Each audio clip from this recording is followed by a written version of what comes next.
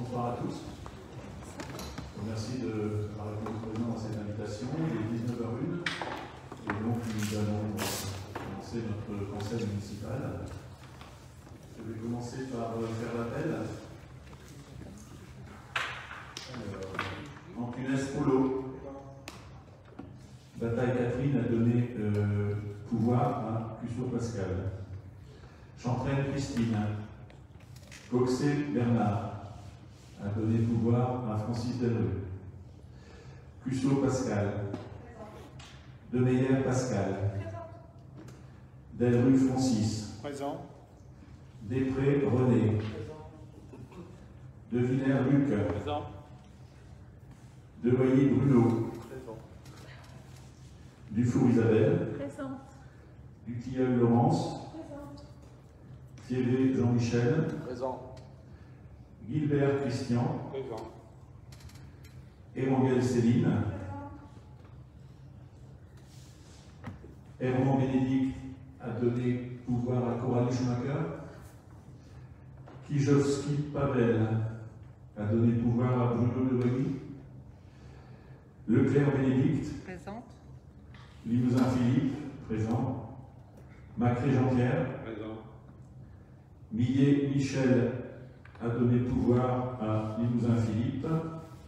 Paquier Michel, Présent. Paquier Tité Caroline, Présente. Schumacher Coralie. Présente. Terry Mathieu a donné pouvoir à Olivier Vandelaine. Vandelaine Olivier Présent. et Verbeck Karl. Présent. Merci.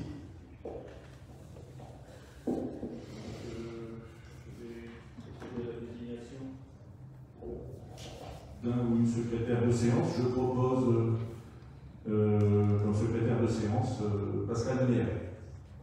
Il accepte volontiers, donc c'est parfait. Merci Pascal. Nous allons euh, donc euh, nous avons un conseil municipal avec euh, 14 délibérations. Euh, plus des décisions du maire. Euh, sur le compte rendu de la, du conseil municipal du 16 décembre, y a-t-il des interventions Quelqu'un souhaite-t-il intervenir?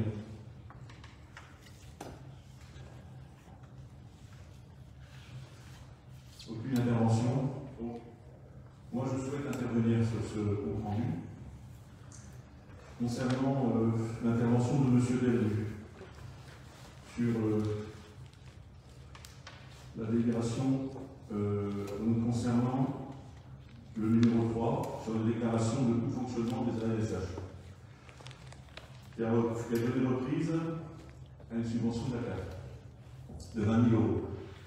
Euh, vous nous avez dit, M. Delru, qu'elles ont été réalisées par l'équipe actuellement en place en 2019 pour cause d'élection du Covid en 2020. L'équipe précédente n'a jamais eu de souci sur ce point, puisque l'adjointe en charge des ALSH était en relation avec la CAF. Faisait valoir valider préalablement tous les éléments de. Moi, je faire un commentaire sur cette intervention euh, qui tient à une manipulation des faits, car il ne s'agit pas de nier l'évidence. Euh, pour vous dédouaner d'éventuels errements qui auraient été commis par euh, l'équipe euh, précédente des aux affaires, je reviendrai d'ailleurs au sujet du débat. Donc, je pense qu'il faut quand même euh, dire les choses comme elles sont, et je pense qu'il serait souhaitable que vous assumiez vos responsabilités. Ça, je voulais vous le dire en préalable. Je souhaite également apporter une- un commentaire sur votre commentaire concernant la délibération numéro 8, décision modificative concernant euh, le débat. Donc vous êtes intervenu, M. Delru, en nous disant que vous indiquez, M. Delru indique qu'en 2009, les services de l'État chiffraient le loyer annuel de la gendarmerie à 361 000 euros. Aujourd'hui, les mêmes services proposent une indemnité annuelle de 330 000 euros, alors que les loyers ont évolué de 11% sur la même, sur la même période. Le loyer devrait donc être de 419 000 euros en 2022. C'est bien ce que vous avez dit.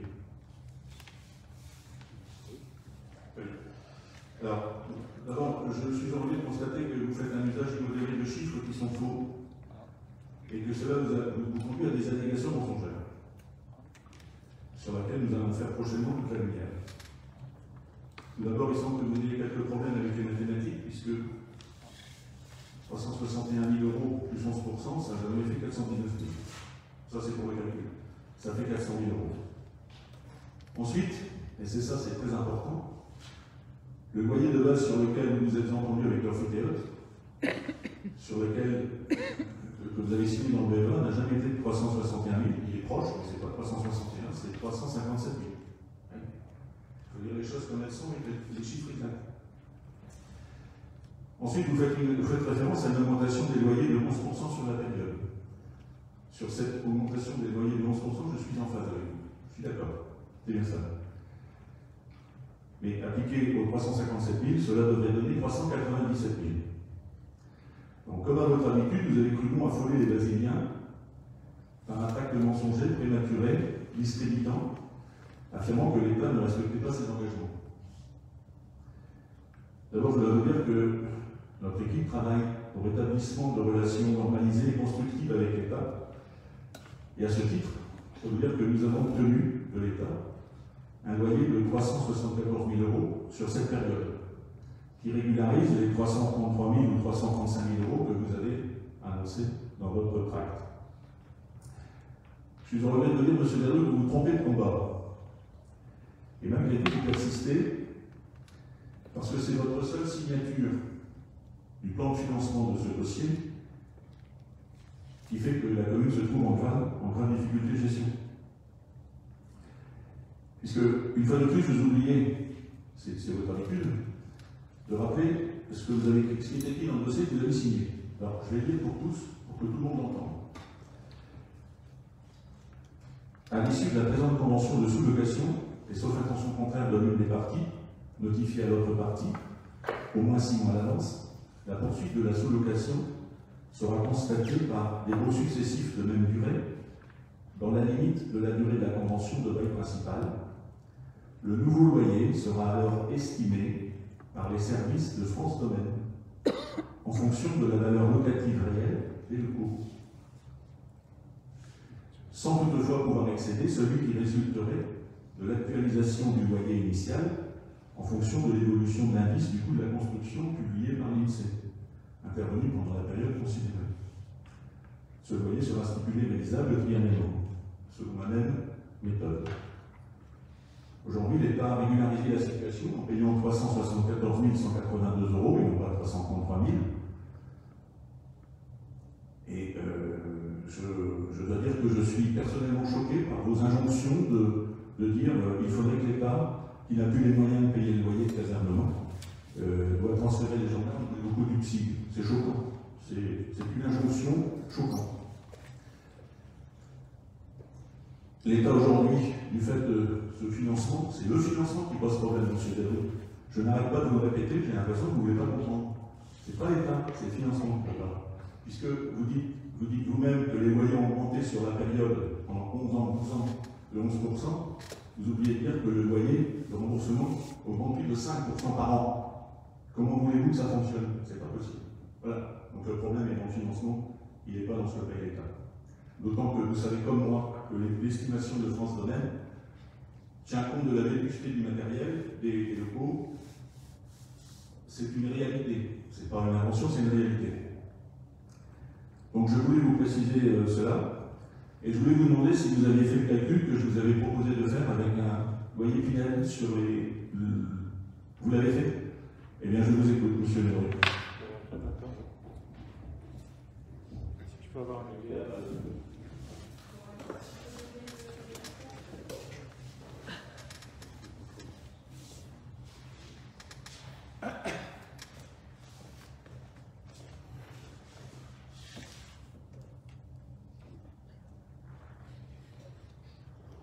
Bien,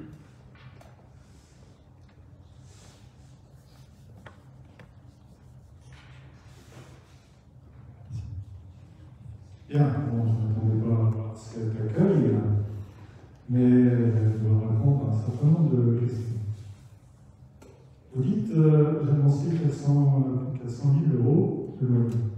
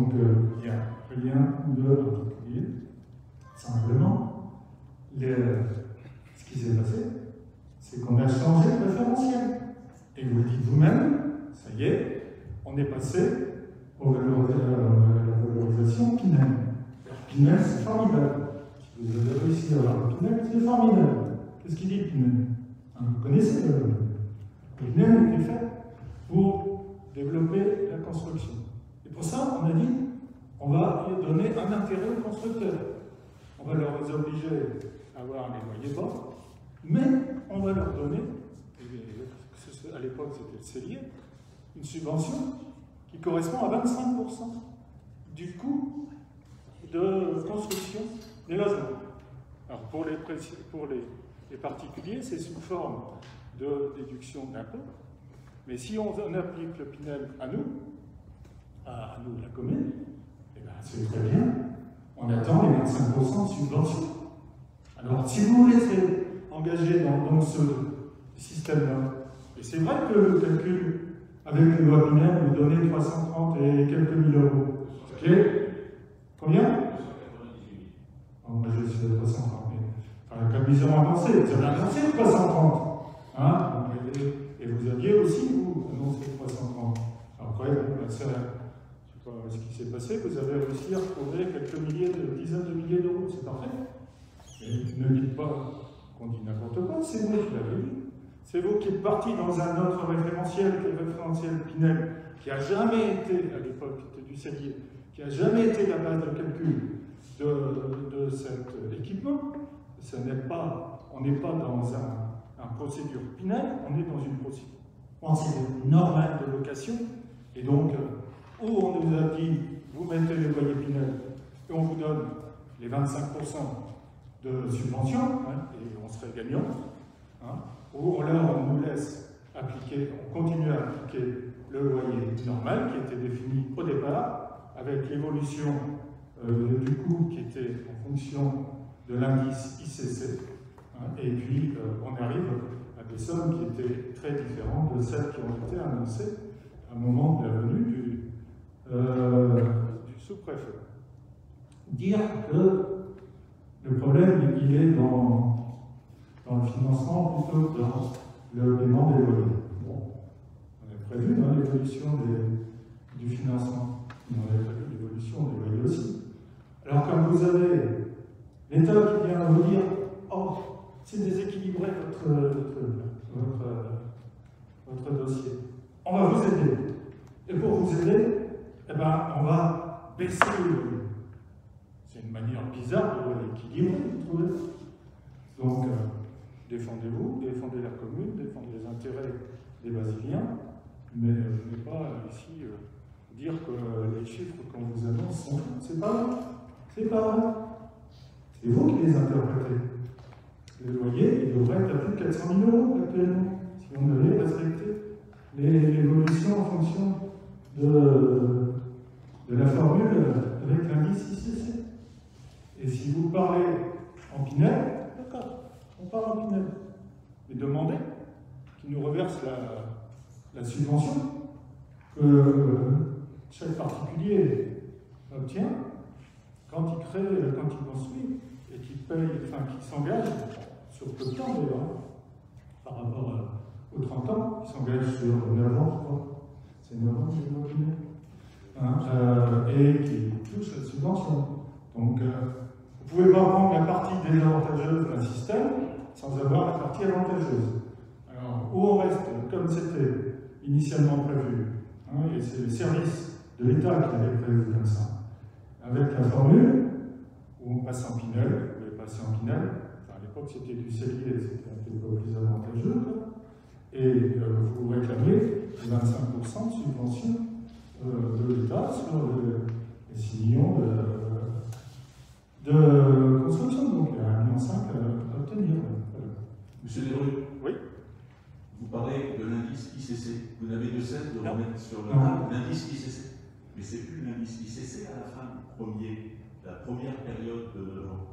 C'est la valorisation de la locative de France Domaine. C'est tout. Oui. Point, point. D'accord. Ça clôt le débat. Ça clôt le débat, mais pas en valeur, pas en valeur finale aussi. Euh, non, bah, mais pas en valeur finale au départ, on vient en valeur finale 9 ans après. Et c'est n'importe quoi. Vous laissez avoir, vous ne défendez pas les Brésiliens, c'est pas possible. Mais la, la, la, bah non, vous laissez avoir. Monsieur Delru, vous avez annoncé 333 000 euros de, de, de, de, résidence, on en est à 374. Pourquoi Parce qu'on a travaillé, monsieur Delru, sur le sujet. C'est bien, et ça serait encore mieux si vous étiez au 400 000 qui devrait être le, le loyer. Et quand, quand ils sont venus ici, ils ont bien parlé, et vous avez évoqué les 330 000. Bon. Et dans le budget, il était marqué 330 000 initialement quand on a fait euh, l'indemnité, euh, l'indemnité qui a été votée, c'était 339 000, non Entre-temps, on a travaillé, M. Eh ben, c'est bien, mais donc j'ai pas dit de bêtises, puisque vous l'avez vous-même fait voter. C'est 339, d'accord.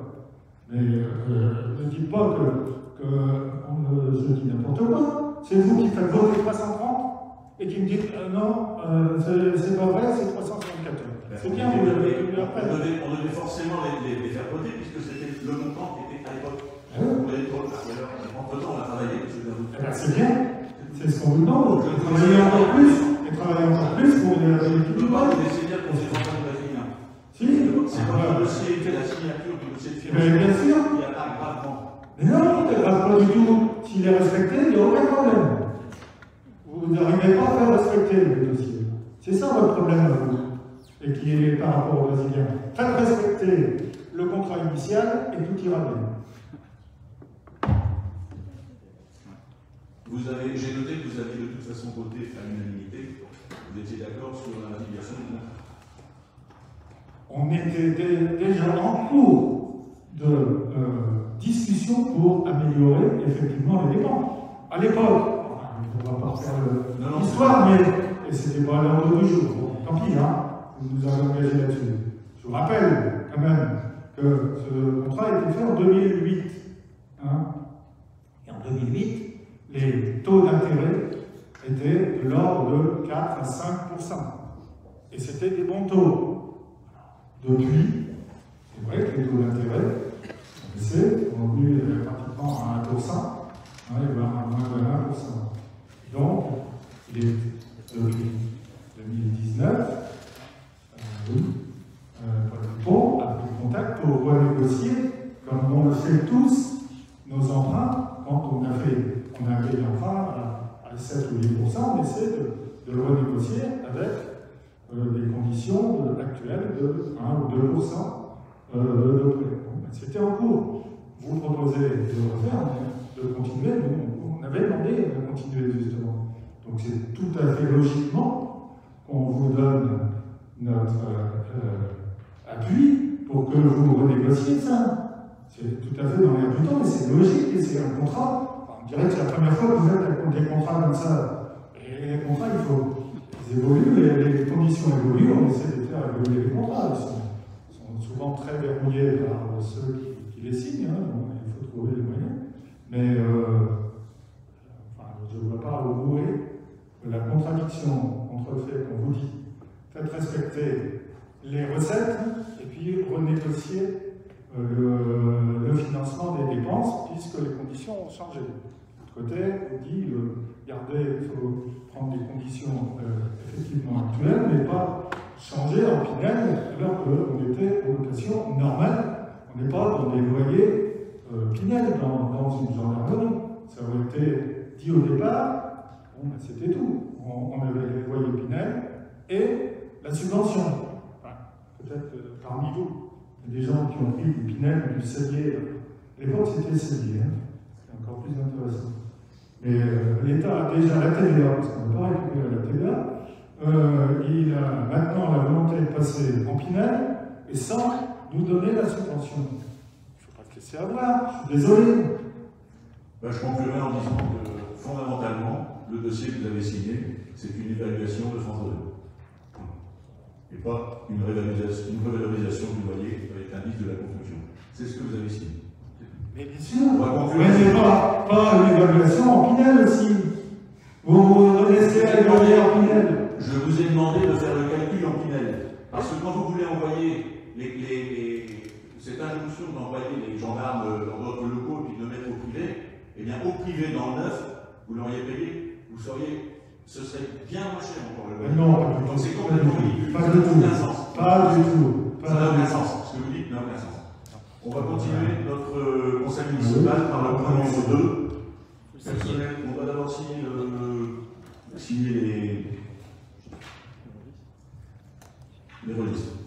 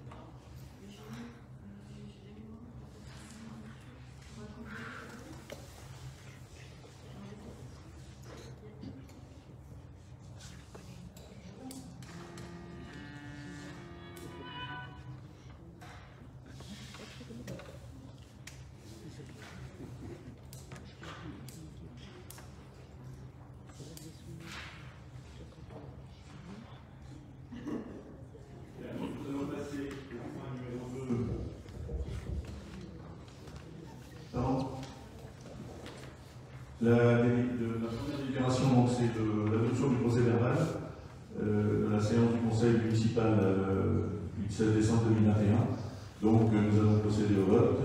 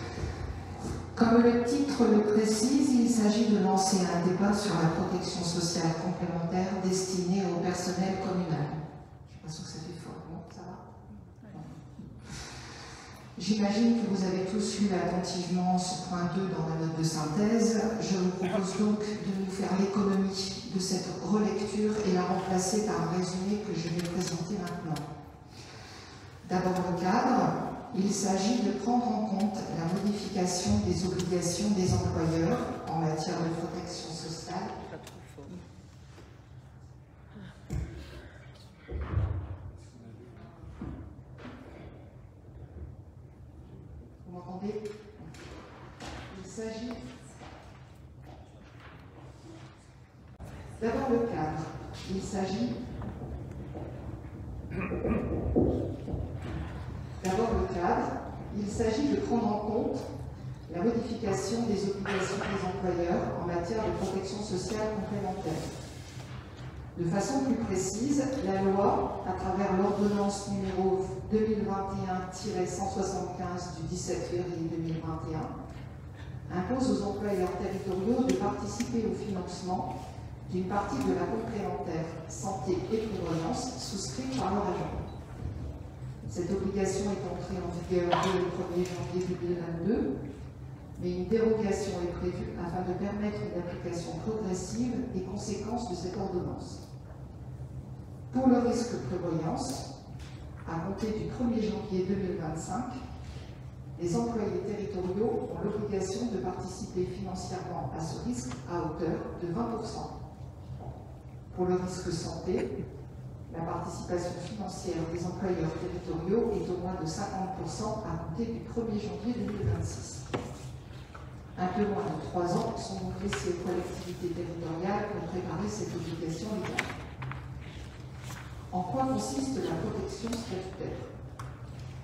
Comme cela est expliqué aux pages 2, 3 et 4 de la note de synthèse, la protection sociale statutaire est liée au droit des congés pour raisons de santé, des congés de maternité et des congés liés aux charges parentales pour les fonctionnaires et les contractuels de droit public. Les tableaux essentiellement page 3 expliquent cela précisément.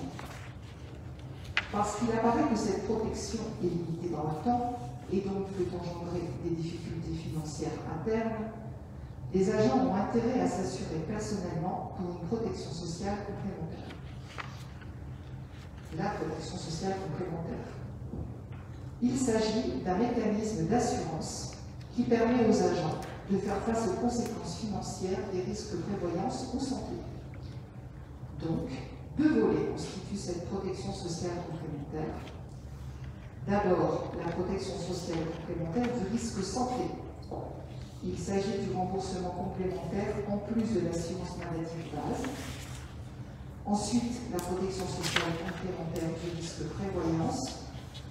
Il s'agit d'une couverture complémentaire en plus des droits issus du régime de sécurité sociale des conséquences pécuniaires liées au risque, par exemple la capacité de travail et l'invalidité. Plusieurs possibilités de participation pour l'employeur à cette protection sociale complémentaire sont possibles. Soit de conclure des contrats directement avec des organismes de protection sociale dans le respect des procédures, notamment de mise en concurrence, soit de participer à une convention labellisée souscrite par l'agent, soit de passer une convention avec le centre de gestion. La situation actuelle. En 2007, un décret avait précisé la possibilité pour les collectivités territoriales de participer financièrement au contrat de leur agent. Aujourd'hui, Cette nouvelle ordonnance du 17 février 2021 est dans l'attente de ses décrets d'application. Elle vise à permettre aux agents de bénéficier d'une couverture assurantielle les garantissant contre la précarité. Elle crée les conditions d'une harmonisation avec les dispositifs déjà en vigueur dans le secteur privé. D'après la plus forte pour la mutuelle nationale territoriale de décembre 2020, deux tiers des collectivités interrogées participent financièrement à la complémentaire santé. Le montant de la participation s'élève en moyenne à 18,90 euros par mois et par agent. Plus des trois quarts des collectivités interrogées participent financièrement à la complémentaire prévoyance. Le montant de cette participation est de 12,20 euros en moyenne par mois et par an. Aujourd'hui, 89% des employeurs publics locaux déclarent participer financièrement à cette protection sociale. Ils expriment que cette participation financière améliore les conditions de travail et la santé des agents, l'attractivité de la collectivité en tant qu'employeur, le dialogue social et contribue à la motivation des agents dans le cadre de la qualité de vie au travail. Comme précisé précédemment, les décrets ne sont pas encore entrés en vigueur, d'autres sont en discussion. Cependant, sans plus attendre, il est demandé déjà d'engager le débat en lien avec les informations actuellement à disposition. Que se passe-t-il à Bézieux À Bézieux, la collectivité ne participe pas au risque santé. Les agents sont donc seuls décideurs. Cependant, une réflexion avait déjà été menée, mais n'avait pas abouti au regard du coût de cette participation pour l'employeur et de l'impact faible pour l'agent. En effet, Seuls les mutuelles labellisées ouvraient droit à la participation de l'employeur et un certain nombre d'agents disposaient d'une mutuelle employeur souscrite par le conjoint. En matière de prévoyance, la commune a souscrit un contrat collectif de garantie de maintien de salaire auprès d'Impérial, auquel l'agent est libre d'adhérer.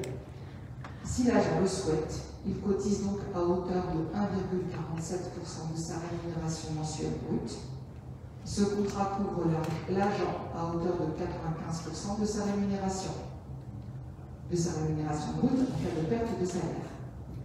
Souscrit en 2016, il est renouvelé par tacite reconduction. Il est possible cependant, dans certaines conditions, de dénoncer le contrat. Conclusion. Il s'agit donc de lancer le débat sur cette protection sociale complémentaire de façon officielle aujourd'hui. Afin de travailler cependant sereinement sur ce sujet et sans perdre plus de temps, nous envisageons la procédure suivante pour mener à bien les travaux sur ce dossier. Trois adjoints directement concernés par ce sujet, soit l'adjoint des finances, l'adjoint au pôle social et l'adjoint aux ressources humaines, accompagnés dans leur réflexion par la directrice générale des services et une technicienne des ressources humaines, des ressources humaines, vont travailler régulièrement sur ce sujet dès le deuxième trimestre 2022. À l'issue de ce temps de travail, les résultats de ces réflexions seront présentés aux représentants des organisations syndicales concernées. L'étape suivante sera une présentation en commission des finances, avant une présentation en, conseil municipal, tout cela avant le 1er janvier 2025 pour le risque prévoyance et avant le 1er janvier 2026 pour le risque santé. Nous sommes donc maintenant à l'écoute si vous avez des questions, des informations à nous donner qui nous permettront d'étayer notre réflexion et nos travaux. En disant un peu ce que. Ça se rapp... Je vais essayer de parler plus fort. Ça se rapproche très fort de ce que fait l'État au niveau du au niveau du privé, très clairement.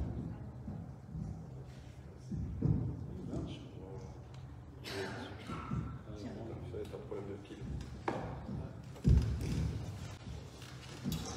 Ouais, donc en regardant la ça ressemble très fort à ce qui se fait dans le privé, très clairement, avec cette obligation de participation individuelle. Euh, par contre, j'ai des questions parce qu'on parle d'obligation de participation euh, avec des, certains niveaux, 20%, 50%. Mais on dit obligation euh, de participation si le salarié le, prend une mutuelle. Il n'y a pas dans les textes une obligation de prendre une mutuelle. Pas pour l'instant. D'accord. Le, problème que nous avons fait, nous sommes obligés de lancer le débat et en même temps, nous n'avons pas malheureusement tous les outils pour travailler.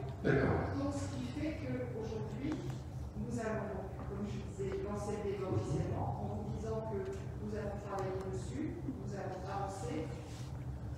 Et au fur et à mesure, nous allons pouvoir nous adapter en fonction des décrets d'application qui nous parviendront mais effectivement, c'est une obligation aujourd'hui de lancer le débat et on va s'adapter au fur et à mesure. Mais je suis d'accord avec vous, il y a beaucoup de zones d'ombre. Oui, parce que notamment dans le privé, en fait, cette participation n'est pas à 50%, parce qu'elle est à 50% uniquement pour la part du salarié. Si prend une mutuelle famille, on ne rembourse que, la part, que sa part à lui. Je ne sais pas si ça va partir dans le même sens. Ou... Après, je pense que ça dépend aussi peut-être des conventions collectives Euh, mais, effectivement, je pense que dans, un premier temps, euh, nous allons en fait. Euh, nous adapter, comme je vous disais, au fur et à mesure.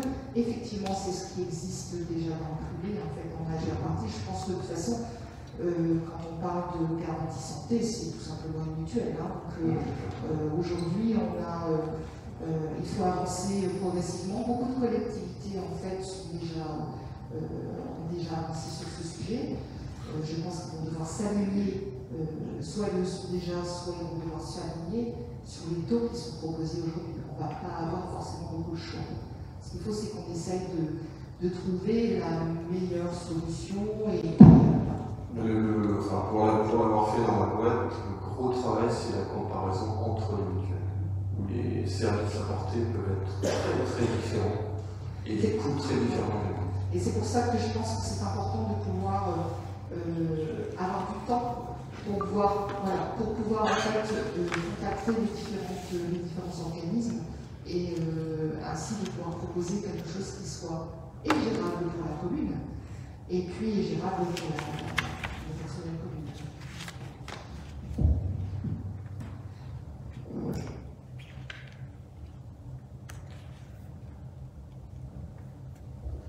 De toute façon, nous vous tiendrons, comme je disais, hein, nous vous tiendrons en fait régulièrement euh, euh, alors, devant la commission des finances euh, en bout de course, mais, effectivement auprès des organisations syndicales.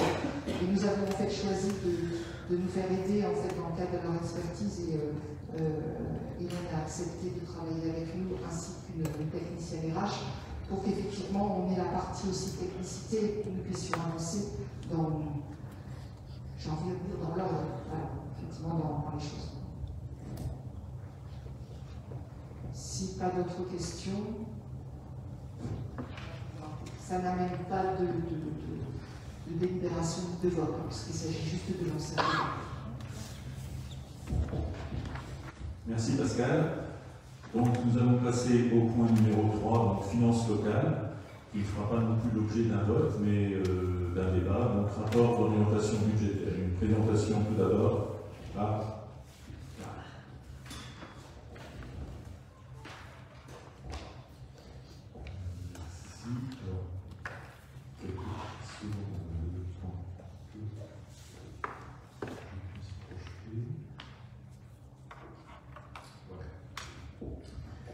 Donc le rapport d'orientation budgétaire donc, qui va vous être présenté se situe dans un cadre légal il se fait toujours euh, dans les deux mois qui précèdent le, vote du budget et doit donner effectivement les, orientations euh, et notamment donne lieu ensuite à un débat sur les orientations euh, budgétaires. Alors, comme tous les ans, quand je, le présente, hein, on, va, regarder le contexte national d'abord avec les, répercussions sur les collectivités et donc forcément sur également les yeux. Et puis euh, ensuite, on, on, zoomera euh, plus précisément sur la commune euh, et de regarder dans les, grandes orientations et dans les grandes lignes ce que l'on prévoit pour, pour l'année à venir. Alors tout d'abord dans le contexte national, eh bien, on est aujourd'hui sur, en termes de, de, postulats macroéconomiques avec une croissance du, PIB de 4%, enfin un fort rebond en, 2021 de, de 6%, un taux de chômage qui se réduit et atteint aujourd'hui 8,5% en 2021, une inflation de 1,5% contre 1,4% en 2021. Alors ça, on va voir, ça va être notamment aussi important dans le cadre de la construction budgétaire, puisque on, sort quand même de cette de, nombreuses années où l'inflation était quasi inexistante. Un déficit public de 4,8% du PIB contre 8,4% en 2021, une dette publique de 114% contre 115,6% en 2021, et des dépenses publiques représentant 55,6% du PIB contre 59,9% également l'année passée. Malgré tout ça, en fait, et dans le, postulat euh, au niveau euh, la vision sur la programmation de la finance, euh, il y a des aléas qui demeurent, notamment sur l'utilisation de l'épargne que va être faite par les ménages qui a été accumulée pendant la crise sanitaire en, en 2020 comment aussi les entreprises vont, agir et euh, vont, par rapport à l'investissement, malgré le, niveau d'endettement qui, est, le leur. Et puis, j'en ai parlé, l'augmentation de l'inflation de, 1,5%, et notamment euh, en grande partie liée au des prix des produits énergétiques. Et euh, malheureusement, l'actualité d'aujourd'hui laisse craindre également peut-être une inflation à ce niveau. Au niveau euh, budget, eh bien, euh, l'État nous avait donné en 2020 avec la crise sanitaire, c'était un budget qui était basé sur l'urgence, c'est-à-dire euh, c'était la, politique aussi du, poids qui en coûte. Hein. il fallait sauvegarder l'outil économique dans, notre pays. En 2021, eh on était dans une, dans une évolution avec toujours un budget d'urgence, mais également la relance. On envisageait commencer la relance au niveau des, entreprises et notamment à travers une politique d'investissement et, de, subvention.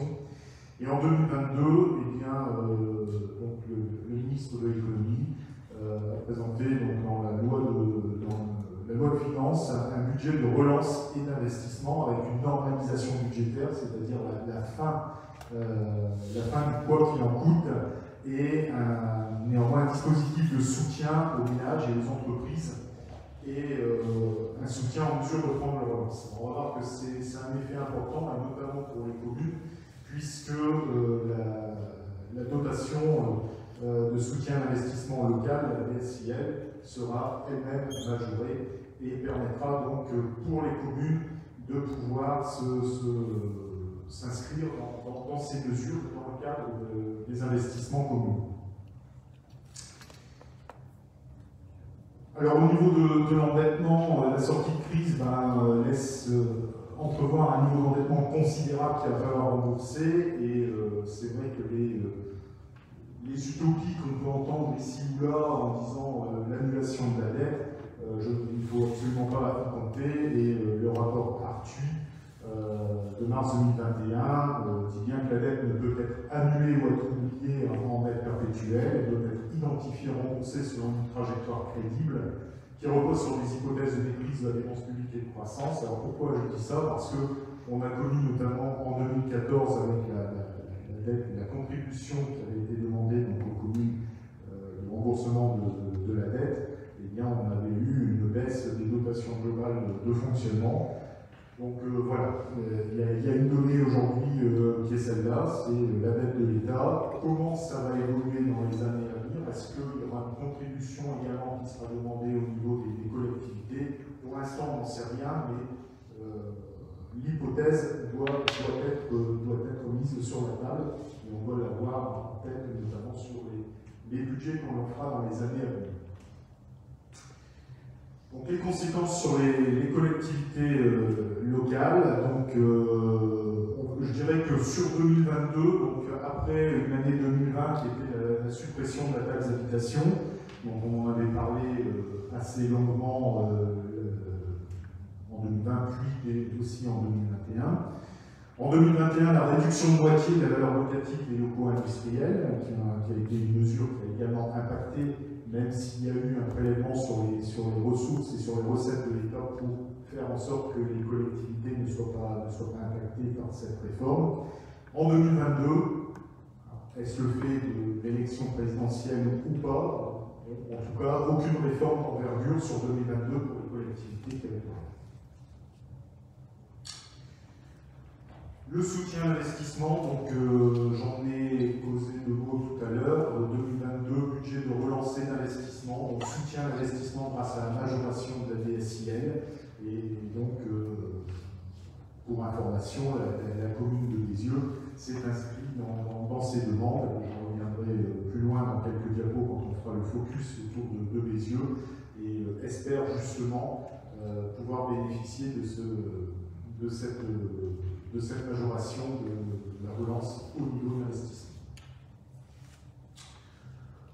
Une stabilité relative des concours euh, financiers de, l'État. Donc, euh, je disais euh, notamment par rapport aux valeurs locatives, il y a une progression de prélèvement sur les recettes de l'État pour compenser la réduction des, valeurs locatives de moitié de taxes foncières sur les propriétés bâties et de cotisations foncières des, des entreprises et locaux industriels la hausse de la dotation de soutien à l'investissement dont, j'ai parlé et la stabilité de la dotation globale de fonctionnement, donc, euh, qui s'est servi en 2022 à presque 26 milliards d'euros, euh, niveau identique à celui de 2021. Également une donnée importante, c'est-à-dire que tout au moins sur la partie, euh, forfaitaire, on va miser au niveau du budget sur une stabilité des recettes à ce niveau.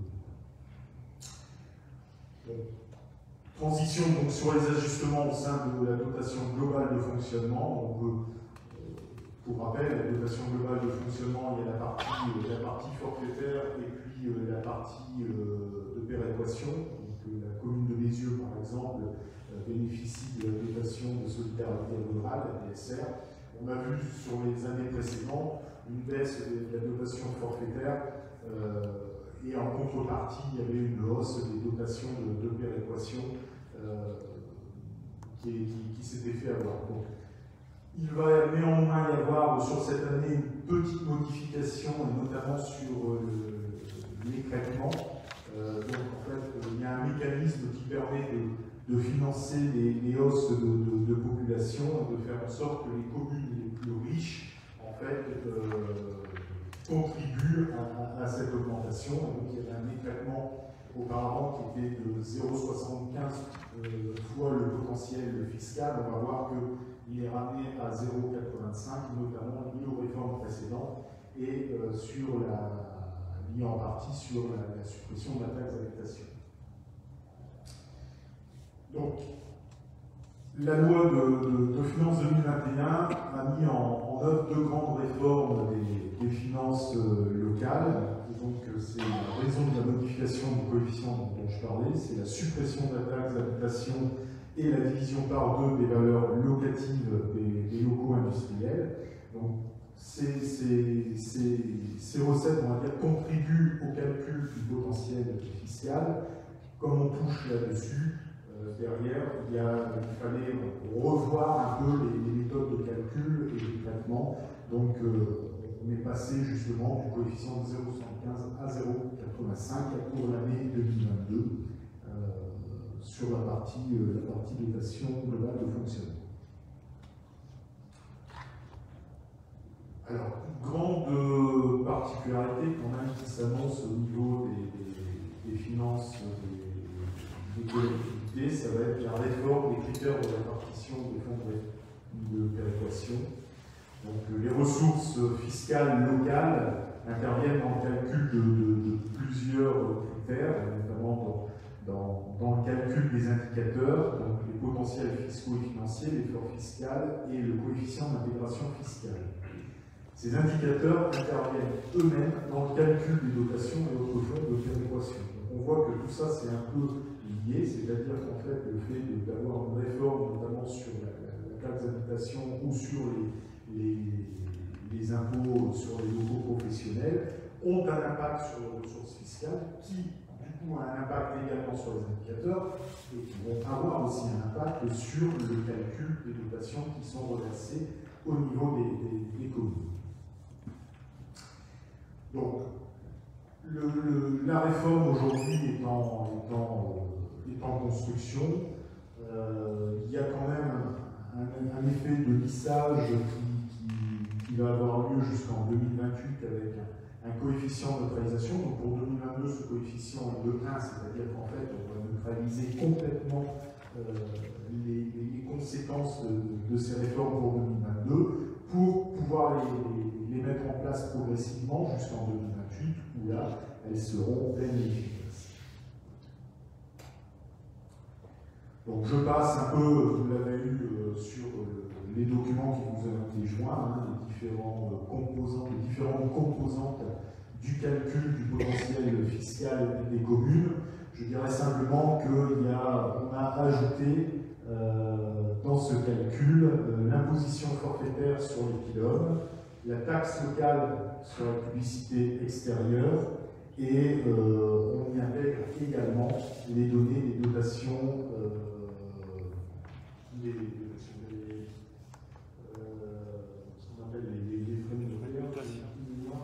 Frais de mutation. Les droits de mutation, Les droits de mutation à titre onéreux euh, qui rentrent maintenant dans le calcul du potentiel fiscal. Au niveau de la réforme, toujours des critères, donc euh, le potentiel fiscal euh, perd de plus en plus son, caractère potentiel. Il comprend de plus en plus des, produits réels, de TVA, dotation de compensation, etc. Et euh, l'effort fiscal, en fait, aussi dans son évolution, eh bien, on, va voir apparaître des,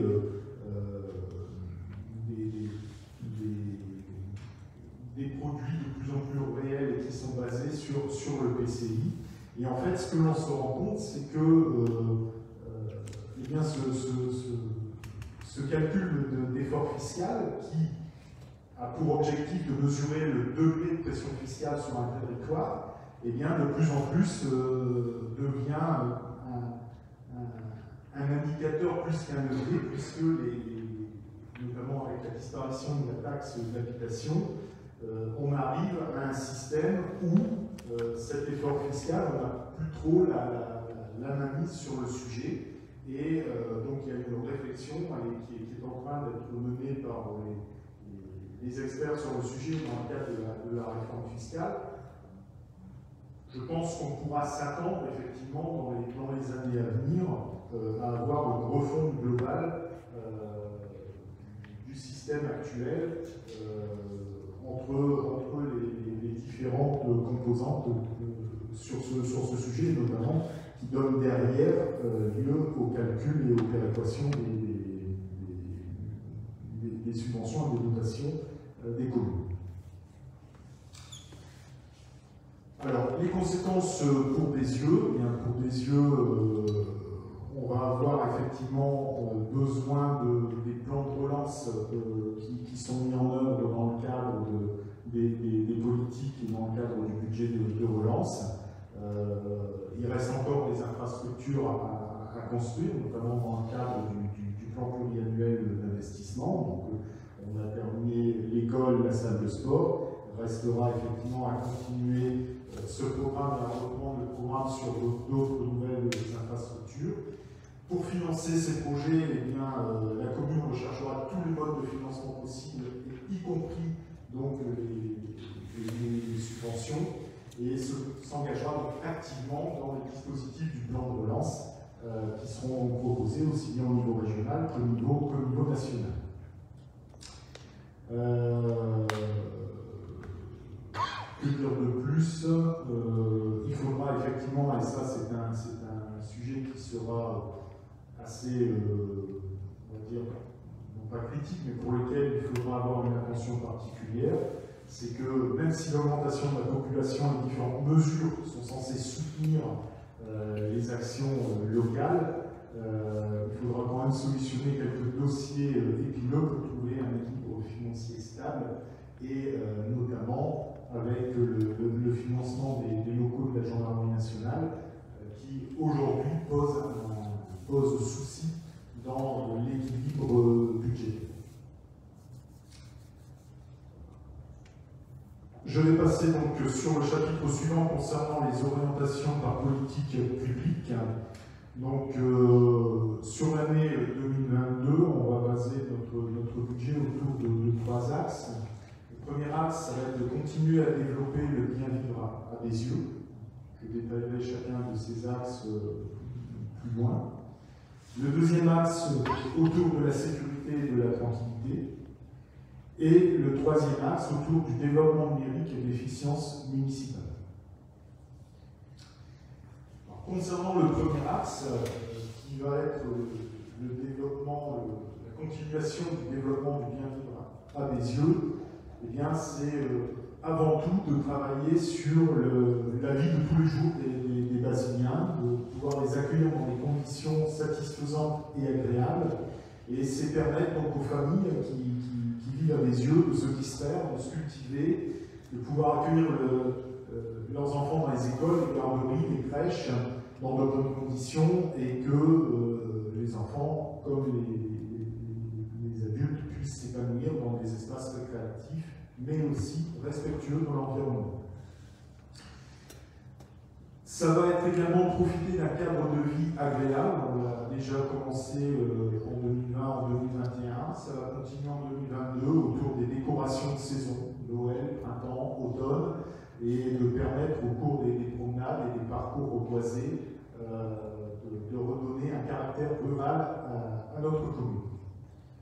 C'est aussi, euh, le bien vivre des yeux, c'est aussi les associations sportives et culturelles, euh, mais c'est aussi également les, commerçants et les forces vives de, notre commune qu'il faut pouvoir intégrer dans les festivités et les événements organisés dans la commune et de faire de yeux une ville dynamique où chaque membre de la famille trouve sa place et où chaque professionnel peut également euh, apporter sa contribution. C'est-à-dire que Bézieux, c'est un lieu de vie, c'est un lieu de plaisir, c'est un lieu de loisir, mais c'est également aussi un lieu de travail.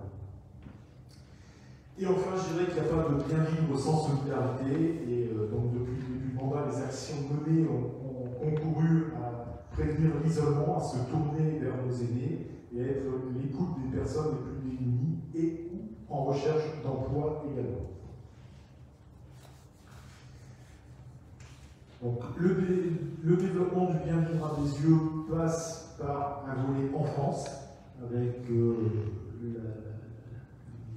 l'installation des aires de jeu pour enfants, le projet qui est, déjà lancé, et de reprendre le, programme d'investissement autour du, relais enfance. Euh, donc ça, les études euh, aussi sont prévues pour euh, cette année. Au niveau du cadre de vie, c'est continuer les décorations de saison, que ce soit pour Pâques, l'automne, ou également sur Noël avec les, lumières qui viennent donner un peu de, gaieté à, la commune, et également tout au cours de l'année la partie floraison de la commune. Au niveau des événements et festivités, c'est continuer à promouvoir la culture, à promouvoir les rencontres et également euh, animer, donner de la vie dans, la commune au travers des, tournois sportifs, mais euh, tout autre événement également qui peuvent euh, permettre de créer des, moments de, convivialité et où les, les peuvent se rencontrer. Deuxième volet, donc sur la sécurité et la tranquillité. Euh, je dirais que pour que les Basiliens sentent bien dans, leur commune, et donc ça fait aussi le lien avec le cadre de vie, il est important qu'ils se sentent en sécurité. Euh, aujourd'hui, on a sur les yeux un système de vidéosurveillance qui est opérationnel sur une partie, euh, mais c'est insuffisant. On que ce maillage ne couvre pas tout. Euh, et malheureusement, on a dû enregistrer quelques actes de délinquance, notamment sur le parking Saint-Jean-Baptiste euh, l'année passée. Donc, là de même, un, travail de coordination avec la gendarmerie doit permettre de compléter notre ouverture et lutter contre les incivilités les dégradations commises dans les espaces publics. Il est également question de protéger les infrastructures euh, existantes, mais également nouvelles, qui seraient, euh, qu'il est de notre devoir également donc, de, protéger. Et euh, bah, tout ça, ça, va être mené aussi autour des réflexions qui vont être engagées avec les conseils de quartier, pour apporter des solutions euh, aux, difficultés aussi de, stationnement et de, circulation. Et là, là-dessus, je sais que le travail qui, est, a déjà commencé avec les, les conseils de quartier est conséquent. Donc, deux axes forts sur le volet euh, sécurité et tranquillité, la vidéoprotection avec euh, l'objectif de compléter le dispositif actuel et de travailler avec la gendarmerie pour bien euh, mailler le, territoire. Et autour du civisme, c'est-à-dire de, de, lutter contre les incivilités du quotidien, euh, ça peut être l'impropreté, l'éjection canine, la circulation, le stationnement, etc.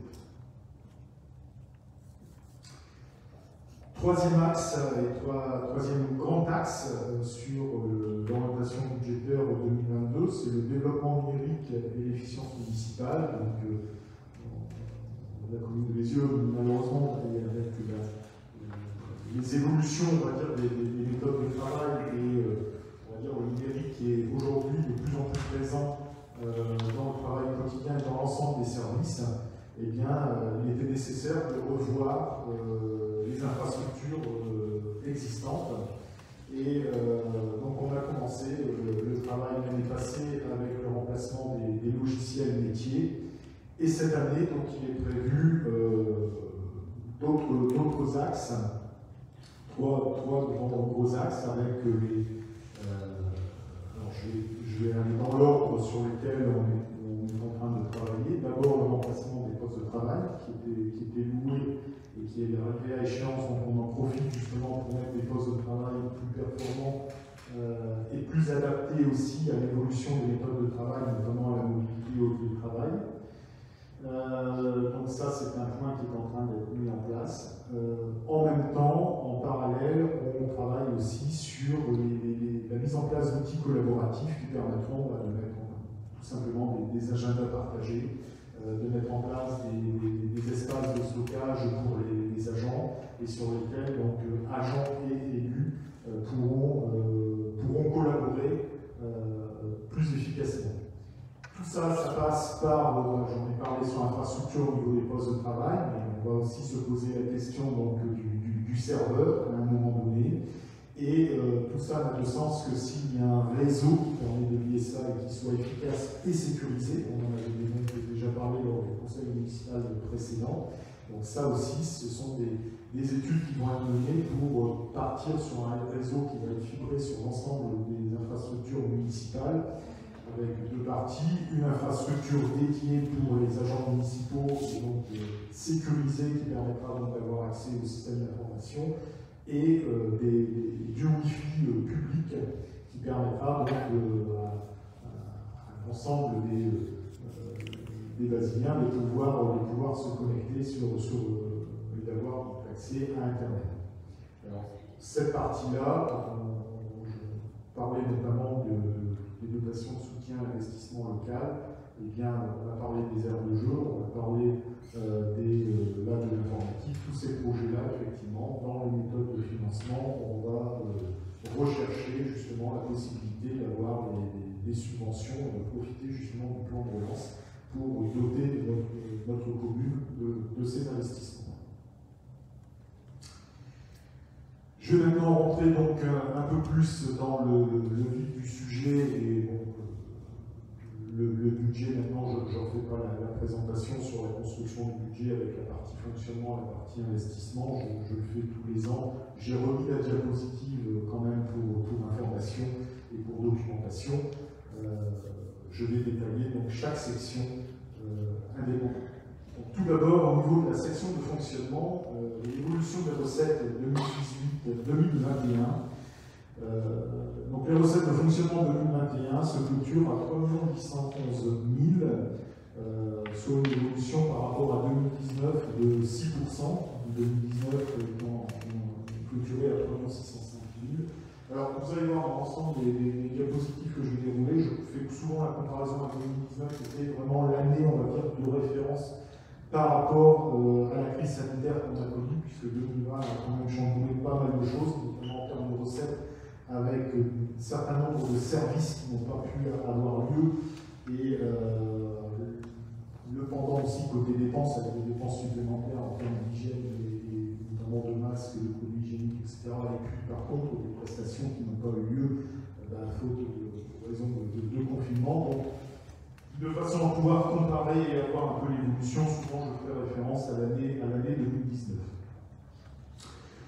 Donc euh, ces recettes de fonctionnement, euh, si on regarde par rapport au nombre d'habitants, on est à 768 euros par habitant euh, c'est, alors si on compare par rapport aux communes, panel, donc les communes de la métropole euh, européenne de Lille, et qui sont, on va dire, comparables en termes de, nombre d'habitants à, mes yeux, eh bien c'est le plus faible montant euh, que l'on peut voir en comparaison donc, de ces communes que sont Bousbec, Allen, les Européens ou Sequedin. 1004 euros pour, pour Bouzbek, 937 pour les européens, 975 pour ce que là, les chiffres vous ont été euh, communiqués. La structure des recettes réelles de fonctionnement, donc bah, une grosse partie provient de tout ce qui concerne impôts et taxes, 61% de, nos recettes proviennent de, ça. Euh, puis vient ensuite les dotations et participations, donc euh, on a notamment les dotations de l'État et les dotations euh, qui proviennent également de, l'EPCI. Et puis on a d'autres produits de gestion de 10% et des produits des services du domaine.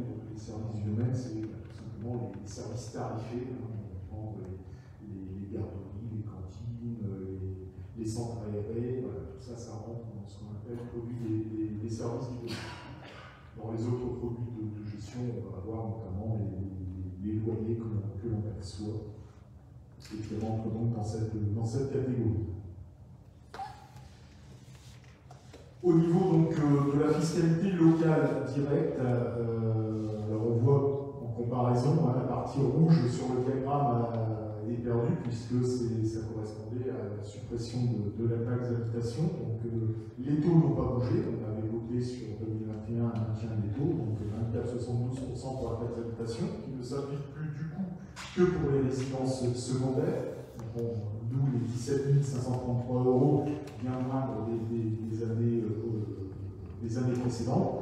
Par contre, effectivement, cette réforme de la taxe d'habitation euh, fait que ben, on a la, taxe foncier sur la propriété bâtie, avec la part départementale qui est reversée au niveau, de, au niveau des communes en compensation de la suppression de la taxe d'habitation. Donc on passe de 669 000 euros en 2019 à 1 277 en 2021, euh, puisqu'il y a cette part départementale qui vient euh, contribuer.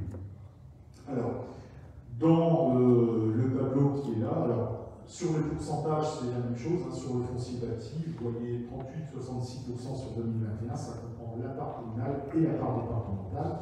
Je répète, la part communale de 19,37% n'avait pas bougé en 2021. Dans ces montants ne sont pas pris en compte les compensations au titre des exonérations de taxes foncières, les rôles supplémentaires et complémentaires. Donc pour l'année 2021, on a eu donc la notification et ces sommes représentent 131, 132 000 euros au titre des compensations et 207 000 euros au titre des rôles complémentaires et supplémentaires qui sont venus s'ajouter euh, au niveau des, recettes sur la fiscalité locale Au niveau donc de la taxe sur le foncier bâti, euh, et en comparaison par rapport aux, autres communes, eh bien, on voit que les, bases et les taux sont, les plus bas du panel, donc en comparaison avec les, communes de Bousbec, Allen, les Auvergnats, de Chéran, de et Erkingen sur la liste de Secunin. Euh, le taux de 19,37 euh, euh, comparé donc le poteau de 23, le 301, le 305, euh, font que bah, on a aujourd'hui sur le foncier bâti euh, un des taux les plus bas en comparaison aux, autres communes. Si on fait maintenant un zoom sur la fiscalité reversée, on est sur l'attribution de, de, compensation, donc une attribution de compensation stable 181 000, euh, on va dire si j'arrondis 180 000 euros. Donc ça, ça signifie qu'en fait, il n'y a aucun transfert de compétences qui a lieu entre la MEL et euh, la commune sur euh, la période qui est. Euh, au niveau de la dotation de solidarité communautaire, donc pareil, une stabilité par rapport à 2020 à 95 000 euros. Donc cette dotation vise à réduire les écarts de richesse entre les communes membres de la et euh, donc elle tient compte de l'insuffisance du potentiel fiscal ou financier par habitant de la commune de l'écart par habitant. Donc vous voyez que même sur les dotations euh, au, niveau, euh, au niveau local, au niveau de la MEL, euh, ces, ces indicateurs de potentiel financier de potentiel fiscal dont je parlais en, début de, présentation entrent en- également en jeu dans, dans ces systèmes de péréquation.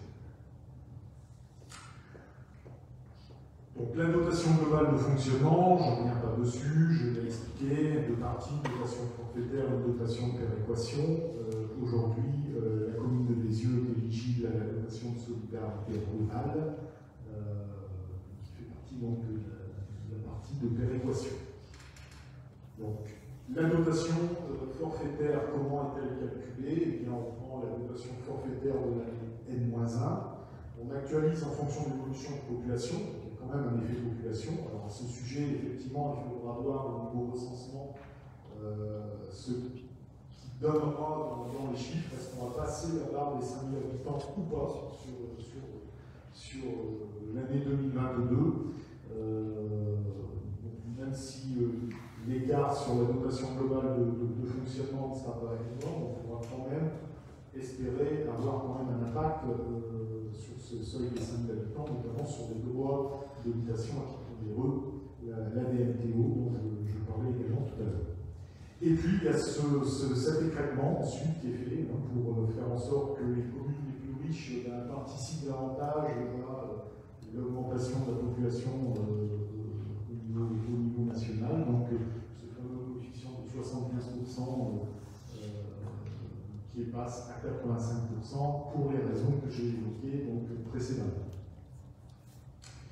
Donc tout ça pour vous dire que ben, euh, pour l'année 2021, on a touché en- sur la, partie forfaitaire 264 000 euros. Donc on voit une quasi-stabilité et ça, ça faisait partie donc des, euh, engagements euh, du- de l'État depuis 2017 de ne plus toucher, euh, de ne plus baisser euh, considérablement la part de DGF qui avait quand même subi une claque assez forte en 2012, je crois, puisque cette dotation avait contribué, avait été réduite de- pour les communes de manière à contribuer au remboursement de la dette nationale.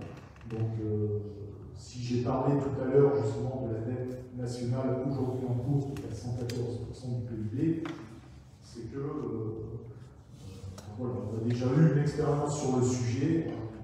C'est pas un peu euh, dans les années à venir, on peut s'attendre à encore une contribution au niveau local pour euh, le remboursement de, de- de cette dette.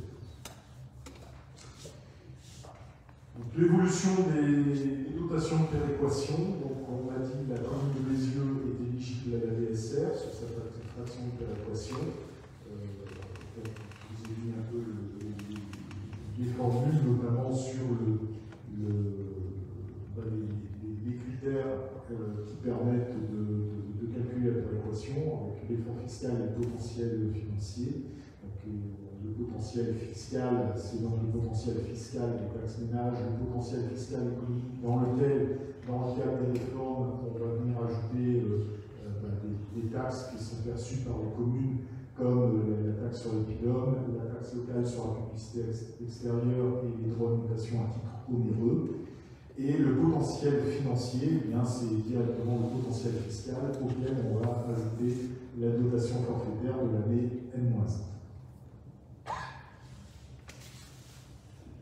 Donc, l'évolution des dotations de péréquation. Au niveau de la DSR, donc, euh, cette année en 2021, on a touché 75 000 euros, donc, euh, soit, euh, euh, on va dire, 1,33% d'évolution par, rapport à l'année 2020. hein, quand on regarde, l'évolution autour de 1,3, 1,7 sur les années précédentes, 2,7 sur, euh, entre 2020 et 2019. Donc, on voit bien quand même une légère hausse des, des dotations de, de, de je dis bien. Euh, bon, même si pour mes yeux, c'est pas, euh, c'est pas, c'est pas. Euh, la dotation euh, nationale de péréquation, elle, qui on va dire qu'elle stable, perdu 0,63%, mais on est toujours à hauteur de, de 80 000 euros, euh, perdu quelques centaines d'euros par rapport à 2020.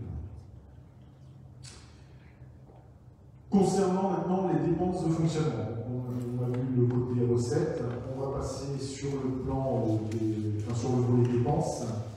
Euh, donc le total des dépenses de fonctionnement pour l'année 2021 s'élève à 3 337 000 euros euh, contre 3 211 en 2019 euh, et 3 210 en, en 2020. Donc une augmentation de, de, de, de 100 000 euros qui avait été euh, budgétée. On va regarder donc poste par poste euh, la- les évolutions qu'on retrouve cette année. Alors, tout d'abord, euh, sur euh, l'ensemble de ces dépenses ramenées par habitant, euh, on est à 673 euros par habitant en 2021. Euh, De la même façon, si je compare par rapport à Bousbec, Allen et Sequelin, on est en deçà donc, de, du ratio pour, ces autres communes. On est donc dans le niveau le plus faible.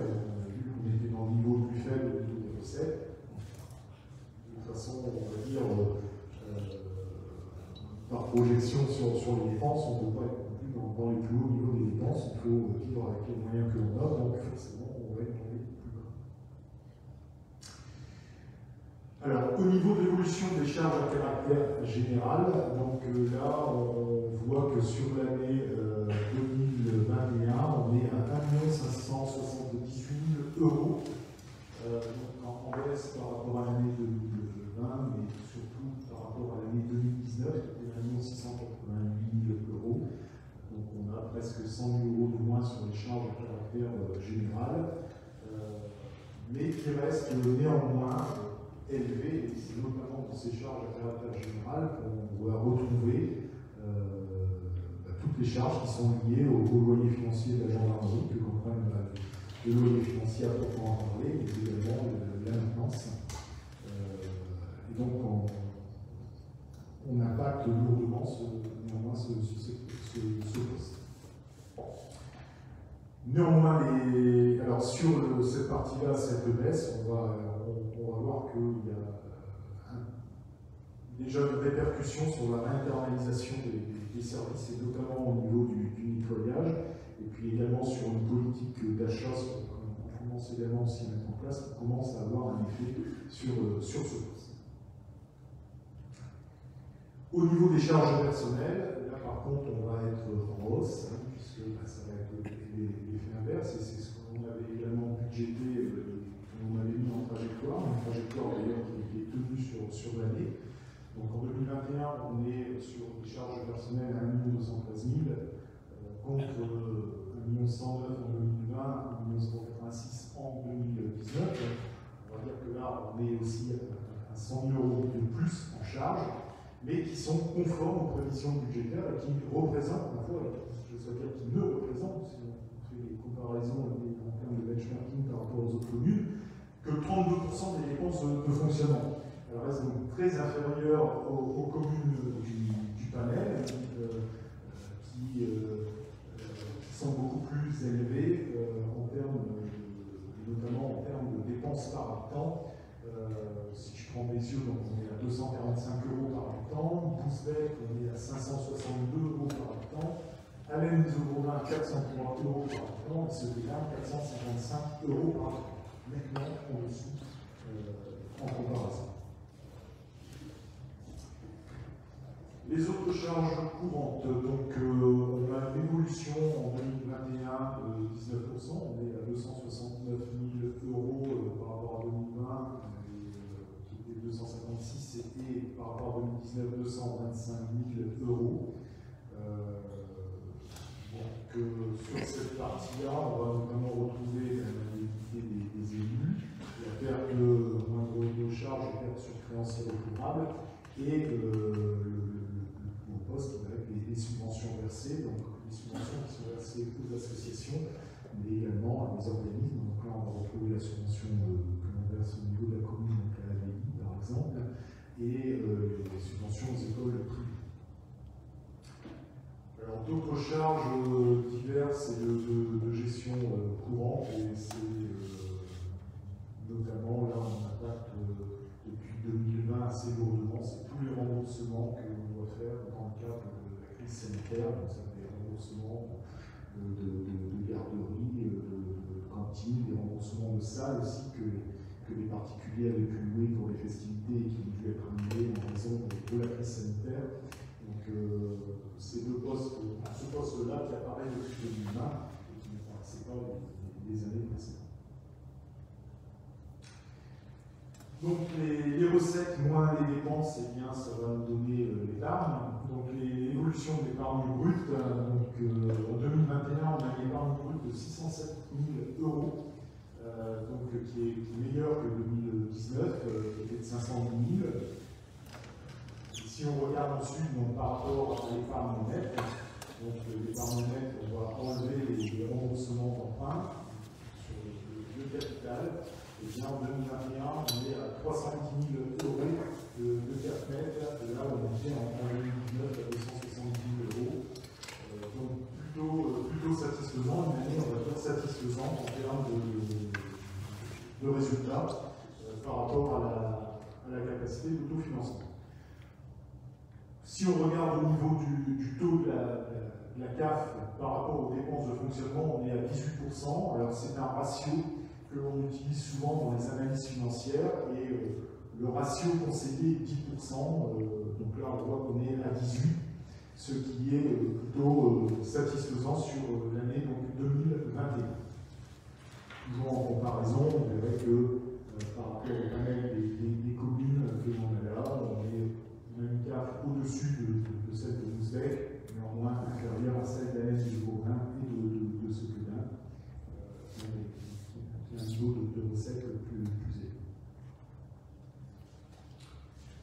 Alors, je me suis euh, néanmoins, puisque euh, on a quand même un sujet, euh, on va dire un fil rouge, hein, depuis quelques, mois autour de, la gendarmerie, et notamment par rapport à la décision et à la qui avait été donnée lors du conseil municipal précédent, qui était de, de revoir le bail amphithéotique et de, de, réviser les conditions de sortie.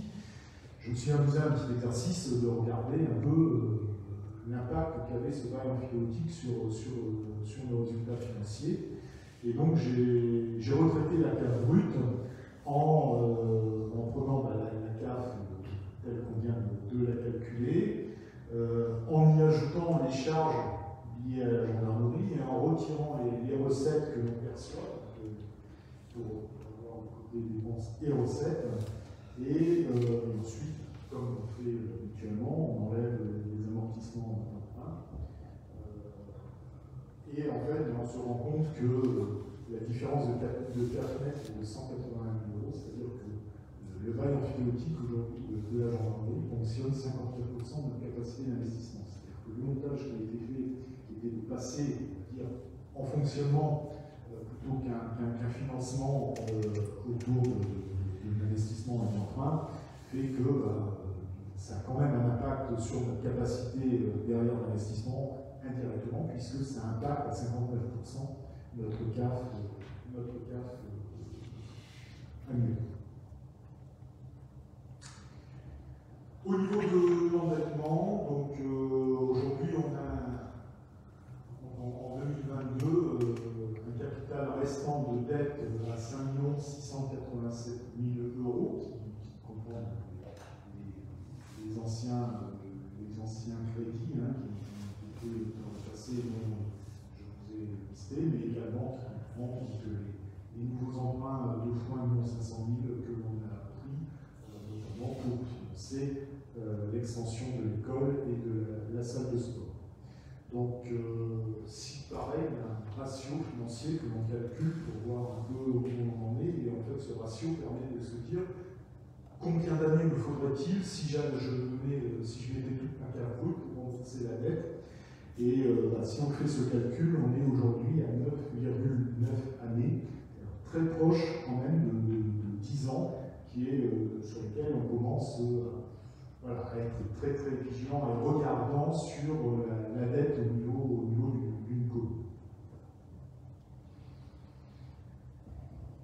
Alors, au niveau des, dépenses d'investissement, et sur l'évolution, eh on va voir que sur l'année 2021, euh, tout comme l'année 2020 d'ailleurs, eh euh, ces dépenses d'investissement sont euh, principalement orchestrées par les, deux programmes qui ont, eu lieu autour de, l'école et autour de la salle Suzanne Grenier, avec des immobilisations en cours pour chacune des deux années de 3,5, 3,6 pour 2021, 3,5 pour 2020. Euh, une évolution qui fait suite à des quelques années où euh, là, vous avez eu moins de dépenses d'investissement, justement en prévision de, la construction de ces infrastructures.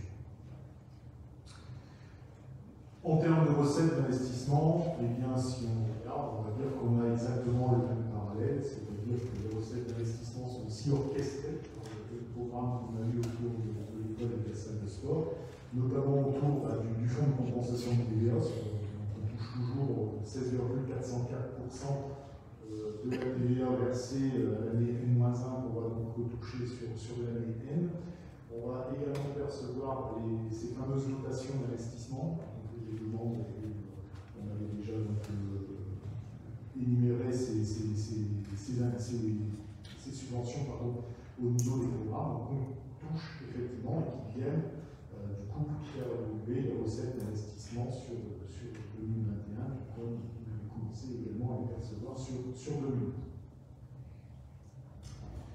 Alors, au niveau du cadre budgétaire pour l'année 2022, puisque c'est quand même ça, après avoir fait le focus sur la, situation financière de, la commune, de se dire qu'est-ce que l'on souhaite et qu'est-ce que l'on compte faire sur l'année 2022, euh, on va dire que ça va être un budget qui doit permettre d'assurer les transitions, euh, notamment avec la mise en fonctionnement des nouvelles infrastructures, mais également de poursuivre les changements et de, poursuivre, je veux dire, les développer. Donc, euh, fort de, ça, en fait, ce qu'il faut prévoir, c'est une prévision d'une forte augmentation du poste énergie.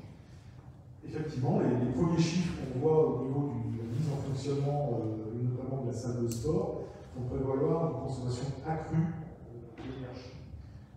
là, je pense qu'il euh, y a une réflexion qui va être amenée euh, sur, euh, aujourd'hui comment, quel type d'énergie on consomme.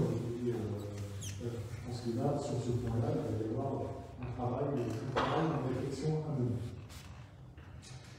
Poursuite du renforcement des équipes municipales, donc on parle d'efficience municipale, hein. je vais parler à travers des outils mais également au travers des, hommes et des femmes euh, qui, qui, œuvrent au quotidien pour, pour la municipalité, donc renforcement au niveau des services techniques, euh, besoin autour du maintien en service opérationnel du système d'information et des outils numériques de communication.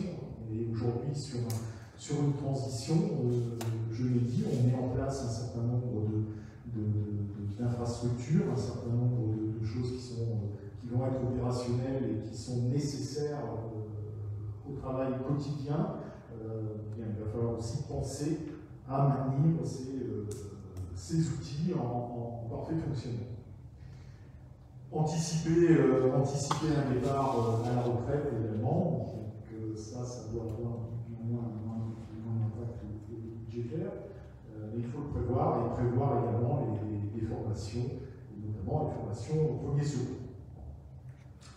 Euh, l'analyse des conditions de, bail, du, de, sortie pardon, du bail amphithéotique de la gendarmerie, j'en ai parlé, je ne reviens pas, dessus, c'est également un des axes forts pour l'année 2022 et qui aura donc à terme forcément un impact également euh, budgétaire.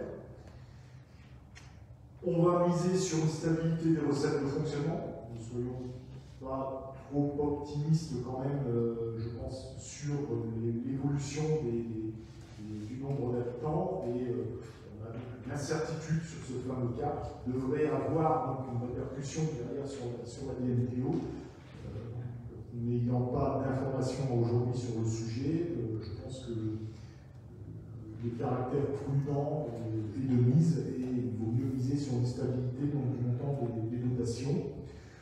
Néanmoins, sur la partie fiscale, une chose est sûre, c'est la revalorisation des bases fiscales à 3,4%, ça qui, est acté par le de de finances. Et euh, eh bien, il faudra également s'assurer au niveau des recettes dans la construction du, budget, dans l'exercice qui, est en train d'être travaillé, d'assurer un niveau de, recettes permettra une capacité euh, d'investissement pour l'avenir rappelle qu'on a quand même un plan pluriannuel d'investissement et euh, euh, des, projets pour, pour des yeux et pour ces, ces, infrastructures.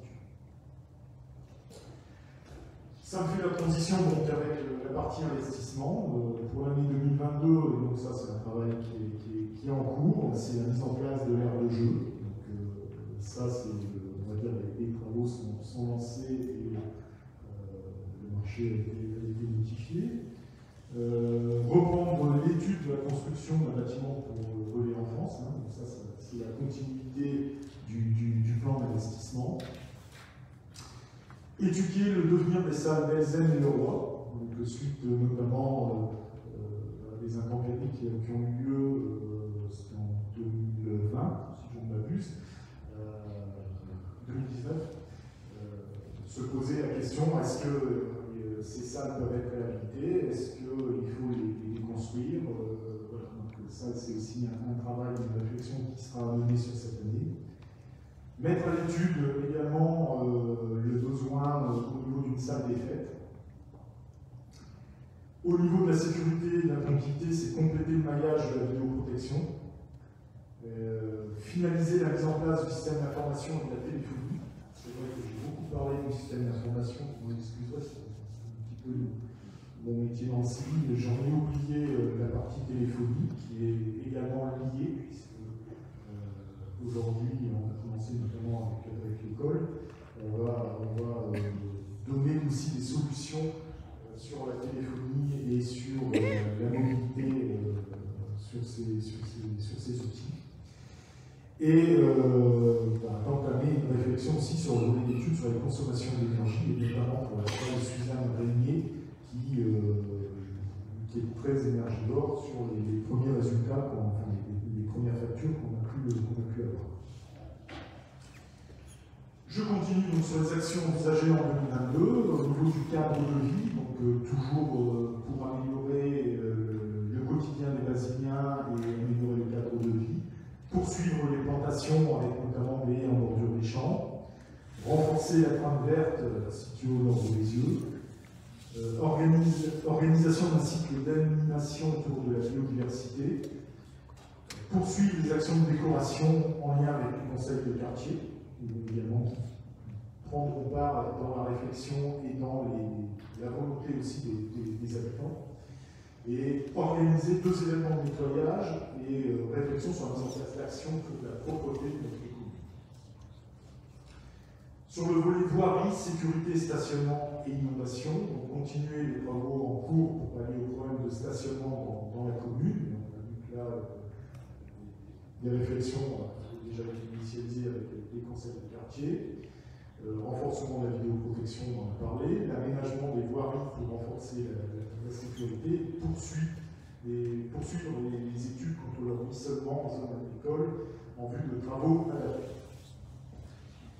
Concernant le projet enfance et jeunesse, étude sur la construction d'un bâtiment dédié à la petite enfance, la mise en place de l'heure de jeu, l'étude des heures de, garde-vie, qui sera euh, donc là euh, également à, réfléchir à la demande des, parents, et de voir si cette demande est pertinente ou pas, entamer des, des, réflexions avec des impacts qui pourraient avoir lieu derrière sur les tarifs et la mise en place également de zones sans tabac qui fera l'objet d'une présentation lors de ce conseil municipal dans les points de l'ordre du jour. Communication de démocratie participative, donc euh, la mise en place de la communication d'une newsletter jeunesse et euh, la co-construction des projets avec les conseils de quartier, donc cette volonté de toujours pouvoir euh, questionner et faire intervenir les conseils de quartier sur la, réflexion au niveau des, actions de la commune. Informatique, finance, informatique, je reviens là-dessus, j'ai été crayon sur le, sujet. De la même façon, sur la finance, le, le challenge, j'oserais dire, le, défi pour l'année 2022, ça va vraiment pouvoir initier cette, cette, réflexion sur les conditions de sortie du bail amphithéotique de voir un peu ce que l'on peut, en tirer. Au niveau de l'action sociale et du CCAS, c'est de poursuivre les actions régaliennes du CCAS, donc le portage des repas, euh, logement social, et l'accompagnement des personnes, sur les repas, il va y avoir un appel d'offres qui sera lancé euh, cette année. Organiser un voyage également, ça c'est un des projets du, CCAS, et euh, mettre en place des, ateliers pour, les seniors. Euh, donc également un autre projet CCAS pour l'année 2022.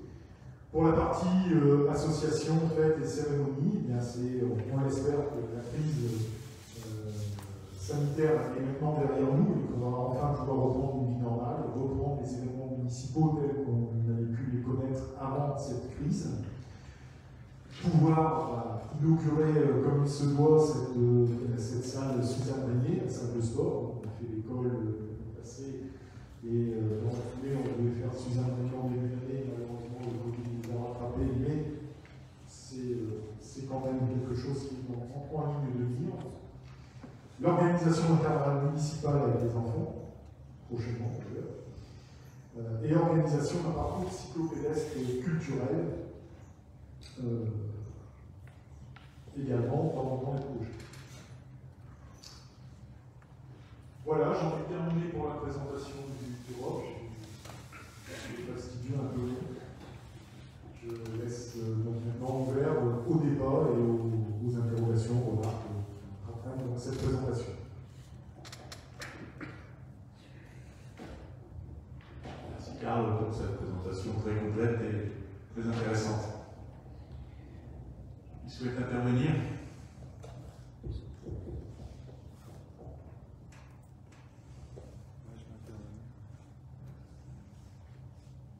Personne.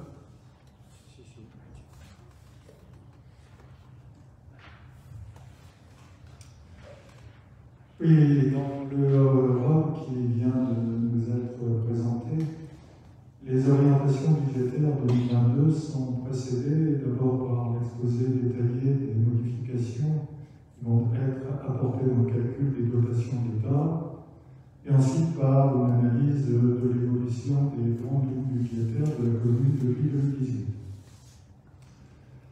En ce qui concerne les modifications dans les méthodes de calcul des dotations de l'État, nous n'avons pas encore leurs conséquences sur le budget brésilien. Nous avons été échaudés, ça a été dit, par les économies faites, euh, les économies euh, faites euh, par l'État sur les DGF municipales il y a quelques années.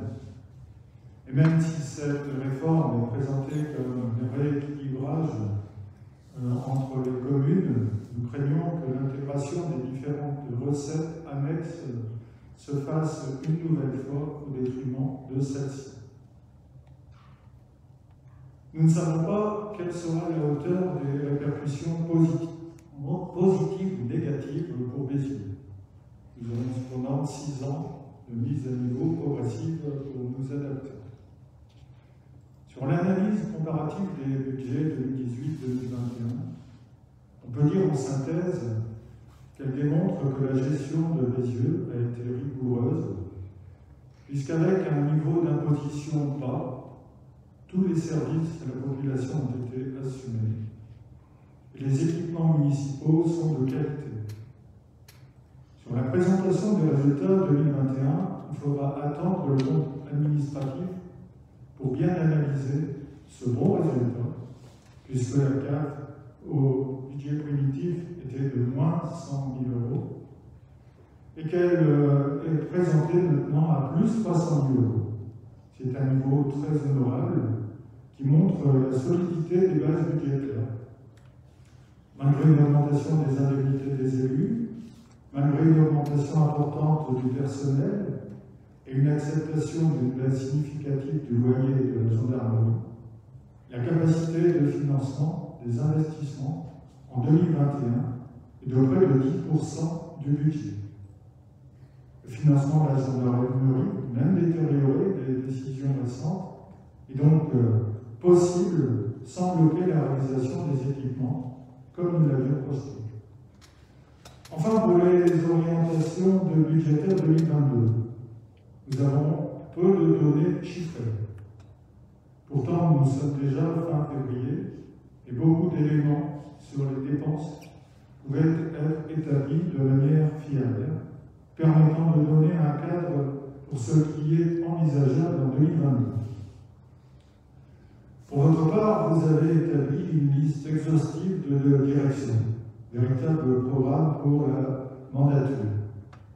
Nous approuvons ce qui est présenté, puisque nous y retrouvons des idées que nous avions aussi émises. Cependant, l'Europe doit définir les conditions dans lesquelles peuvent se concrétiser ce qui est envisagé, doit aussi définir les priorités, car les contraintes imposeront des limites à cet éventail d'intentions. Pour notre part, en fonctionnement, le redémarrage de toutes les actions, animations associatives et communales doit être soutenu. Financièrement, par ailleurs, le contexte national actuel de dégradation du pouvoir d'achat de nos concitoyens nous impose de ne pas modifier les taux de taxation de la commune, les bases évoluant déjà de plus de 3,4%. Avec les nouvelles habitations, l'évolution du nombre de contribuables brésiliens permettra, tout en maintenant les services apportés aux Brésiliens, de poursuivre la réalisation des équipements qui faisaient l'objet d'un plan général Bézieux 2030 défini en 2018. Pour garantir la capacité d'autofinancement, il est aussi nécessaire de retrouver les 70 à 80 000 euros de loyer de gendarmerie dans la négociation d'un prochain bail. Vous avez dit que la moitié était déjà obtenue, c'est parfait. La négociation avec le financeur de la SCI des, des casernes, aboutit, sera un plus. En investissement, pour nous, les priorités sont la réalisation de l'aire de jeu, du RAM, du local jeunesse, de la bibliothèque médiathèque.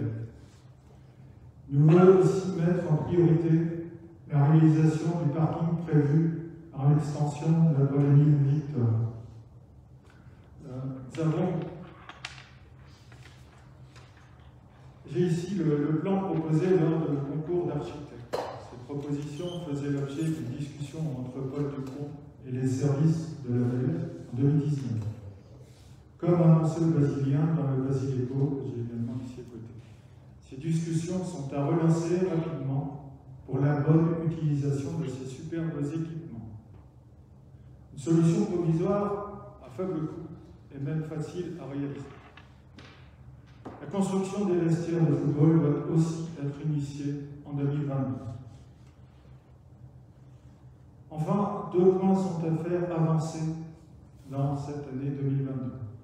Le premier, pour la sécurité des piétons et des cyclistes et la réalisation du chemin entre Saint et Palémivite. Le second, pour la lutte contre les inondations et la mise en œuvre des propositions de l'étude de protection du quartier de Saint contre les ruissellements de la plaine de Simoin, qui est en cours d'étude depuis plusieurs années. Espérons qu'elle va aboutir. Alors tous ces points sont pour nous à intégrer dans le budget primitif 2022.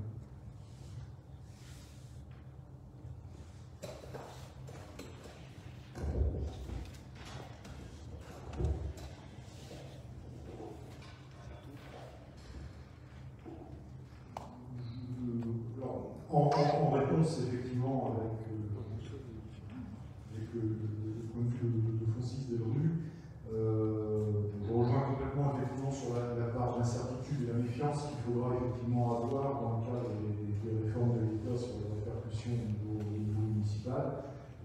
effectivement, on a déjà été échaudé sur la contribution en termes de, remboursement de, de l'État. Je pense que là-dessus, il faudra aussi être, vigilant, de toute façon, pour ne pas faire grand-chose, mais euh, au moins l'avoir en tête dans, dans, la réflexion sur la construction des, prochains budgets. Euh, là où euh, aussi je voudrais intervenir, parce qu'on parle de la capacité d'autofinancement et sur le fait effectivement d'aller rechercher un peu d'oxygène dans le cadre de, la gendarmerie. Euh, on parle beaucoup aujourd'hui du, niveau des, recettes et des loyers, donc le loyer effectivement sur lequel on a eu l'information euh, récemment et tout au moins après le, le, dernier conseil municipal, comme quoi effectivement on avait l'État revenait sur un loyer euh, qui était précédent avec au lieu des 335 euros, effectivement, on a une revalorisation euh, plus importante. Euh, néanmoins, je pense qu'il ne faut pas non plus être utopique et se dire qu'on va aller chercher 70 000 euros de plus sur le parti loyer. Par contre, je pense que le fait d'aller travailler sur le bail amphithéotique et de, refinancer, on a peut-être la possibilité, là par contre, d'aller d'aller alléger notre partie dépenses et améliorer notre capacité d'autofinancement de, de, 100 000 euros. Donc je pense que s'il y a franchement un, point d'attention, un effort à, mener, c'est sur ce point-là. Euh, ça va être de, sortir et de refinancer avec un objectif de, retrouver de l'oxygène sur la capacité d'autofinancement. Ensuite, sur, les investissements, il y a des points de vue qui peuvent être, être différents. Là, ce qu'on prévoit de toute manière aussi dans l'urgence, c'est effectivement, enfin dans l'urgence, dans la poursuite du plan d'investissement, ça va être sur le bâtiment des revenu en France. Euh, ensuite, on a vu aussi ce que c'était d'entamer plusieurs chantiers à la fois. Il faut être assez, assez euh, vigilant sur, sur, le sujet. C'est que, euh, au travers des projets, au travers des, financements et des choses, il y a des hommes qui travaillent, il y a des femmes qui travaillent. Et on l'a vu cette année, hein, notamment, euh, rien que la finalisation des, deux gros chantiers, euh, ça a pris 100% du, temps des agents qui ne sont pas pléthores, même si on a souligné effectivement une augmentation euh, des, charges personnelles, parce que dans l'organisation qui, se doit, la commune grandit, les services, on se doit être là, donc effectivement, qu'on se donne aussi les moyens de pouvoir les, assumer. Eh on n'a quand même pas beaucoup de, ou de bras après derrière pour suivre le projet, et, souvent d'ailleurs une autonomie qui est, inexistante. il faut aussi être vigilant sur ces, sur ces points-là, et je pense qu'il faut aussi pouvoir phaser les, les, projets quand, ils vont être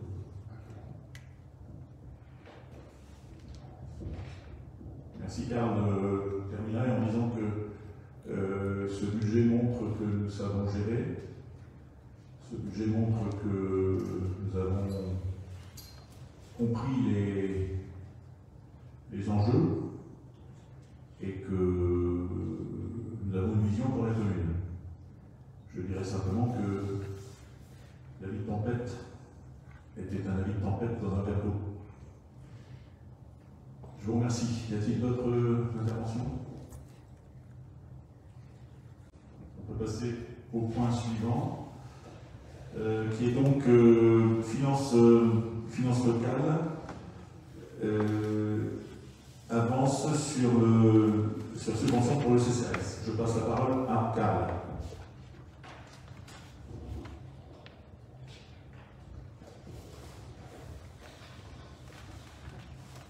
Donc cette délibération a, pour but en fait de pouvoir euh, contribuer au bon fonctionnement euh, du CCAS. Donc, euh, il est financé, ce CCAS est financé principalement par, la commune. et par rapport aussi au, délai entre le, le, budget qui sera, qui sera voté en avril depuis le, fonctionnement du, du CCAS, eh bien, on va demander la possibilité donc, au conseil municipal de se de se prononcer sur euh, le versement d'une avance sur la, sur subvention pour le CCAS, donc à hauteur de 15 000 euros, euh, en attente du vote du budget et euh, de l'adoption du montant de la subvention au CCAS. Alors, pour mémoire, l'année passée, la subvention au CCAS était de 45 000 euros, les années précédentes étaient à hauteur de 35 000 euros. Là, on, voilà, demande la possibilité de, pouvoir verser cette avance à hauteur de 15 000 euros pour, pour le CCAS.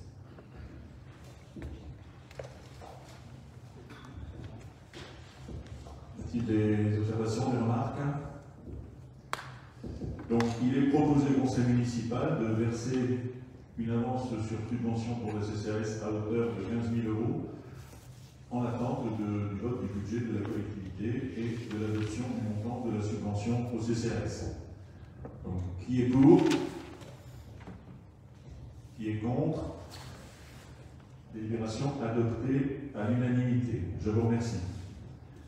Le point numéro 5, est toujours euh, en finance locale, donc je vais repasser la parole à Karl concerne une délibération autorisant la signature d'une convention pour le remboursement de l'électricité.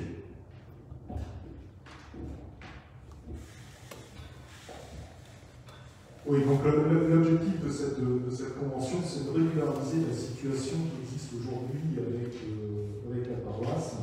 Donc, pour, information, euh, sur l'église Saint-Martin, il y a deux sous-compteurs un qui, sur lequel les, commerçants du marché vont se brancher pour les marchés du, mercredi et du dimanche, et un deuxième sous-compteur qui permet d'alimenter le panneau d'affichage qui, est, euh, situé place du, général de Gaulle. Euh, jusqu'à présent, ces, dépenses, puisque les compteurs sont de la paroisse, étaient supportés par, euh, par la paroisse, et, alors que ça fait partie d'un fonctionnement, on va dire, municipal. Donc, ce que l'on propose ici, et euh, donc ça a été travaillé aussi euh, avec le, prêtre et avec la paroisse, pour euh, mettre en place une convention qui permettra de, régulariser la, situation et de rembourser la consommation d'électricité qui est faite au niveau de, qui, est aujourd'hui au par rapport à la paroisse. Est-ce que quelqu'un souhaite intervenir euh, sur ce projet de délibération? Donc, il est proposé au conseil municipal d'autoriser la signature d'une convention avec la paroisse pour le remboursement de l'électricité utilisée pour le marché de plein air et le panneau d'information municipal. Nous allons procéder au vote. Donc, qui est pour? Qui est contre Donc, la délibération est adoptée à l'unanimité. Je vous remercie. Le point numéro 6 de notre euh, ordre du jour euh, concerne les finances locales.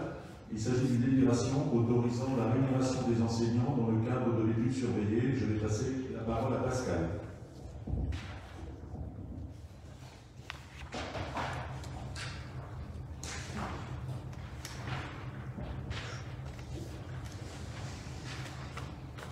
S'agit donc de voter une délibération autorisant donc, la rémunération des enseignants dans le cadre de l'étude surveillée. Euh, vu l'article L2121-29 du Code général des collectivités territoriales, vu l'article D1617-19 du Code général des collectivités territoriales, vu la loi numéro 82-213 du 2 mars 1982 et notamment son article 97, Vu l'arrêté interministériel de portée générale relatif aux rémunérations publiques accessoires aux agents des services déconcentrés de l'État ou de ses établissements publics, vu la délibération numéro 2017-04-02 du 4 avril 2017 fixant le taux de, rémunération des heures supplémentaires effectuées pour le compte et à la demande des collectivités locales par les personnels relevant de l'enseignement public, Considérant que pour être fondé à effectuer le paiement des rémunérations publiques accessoires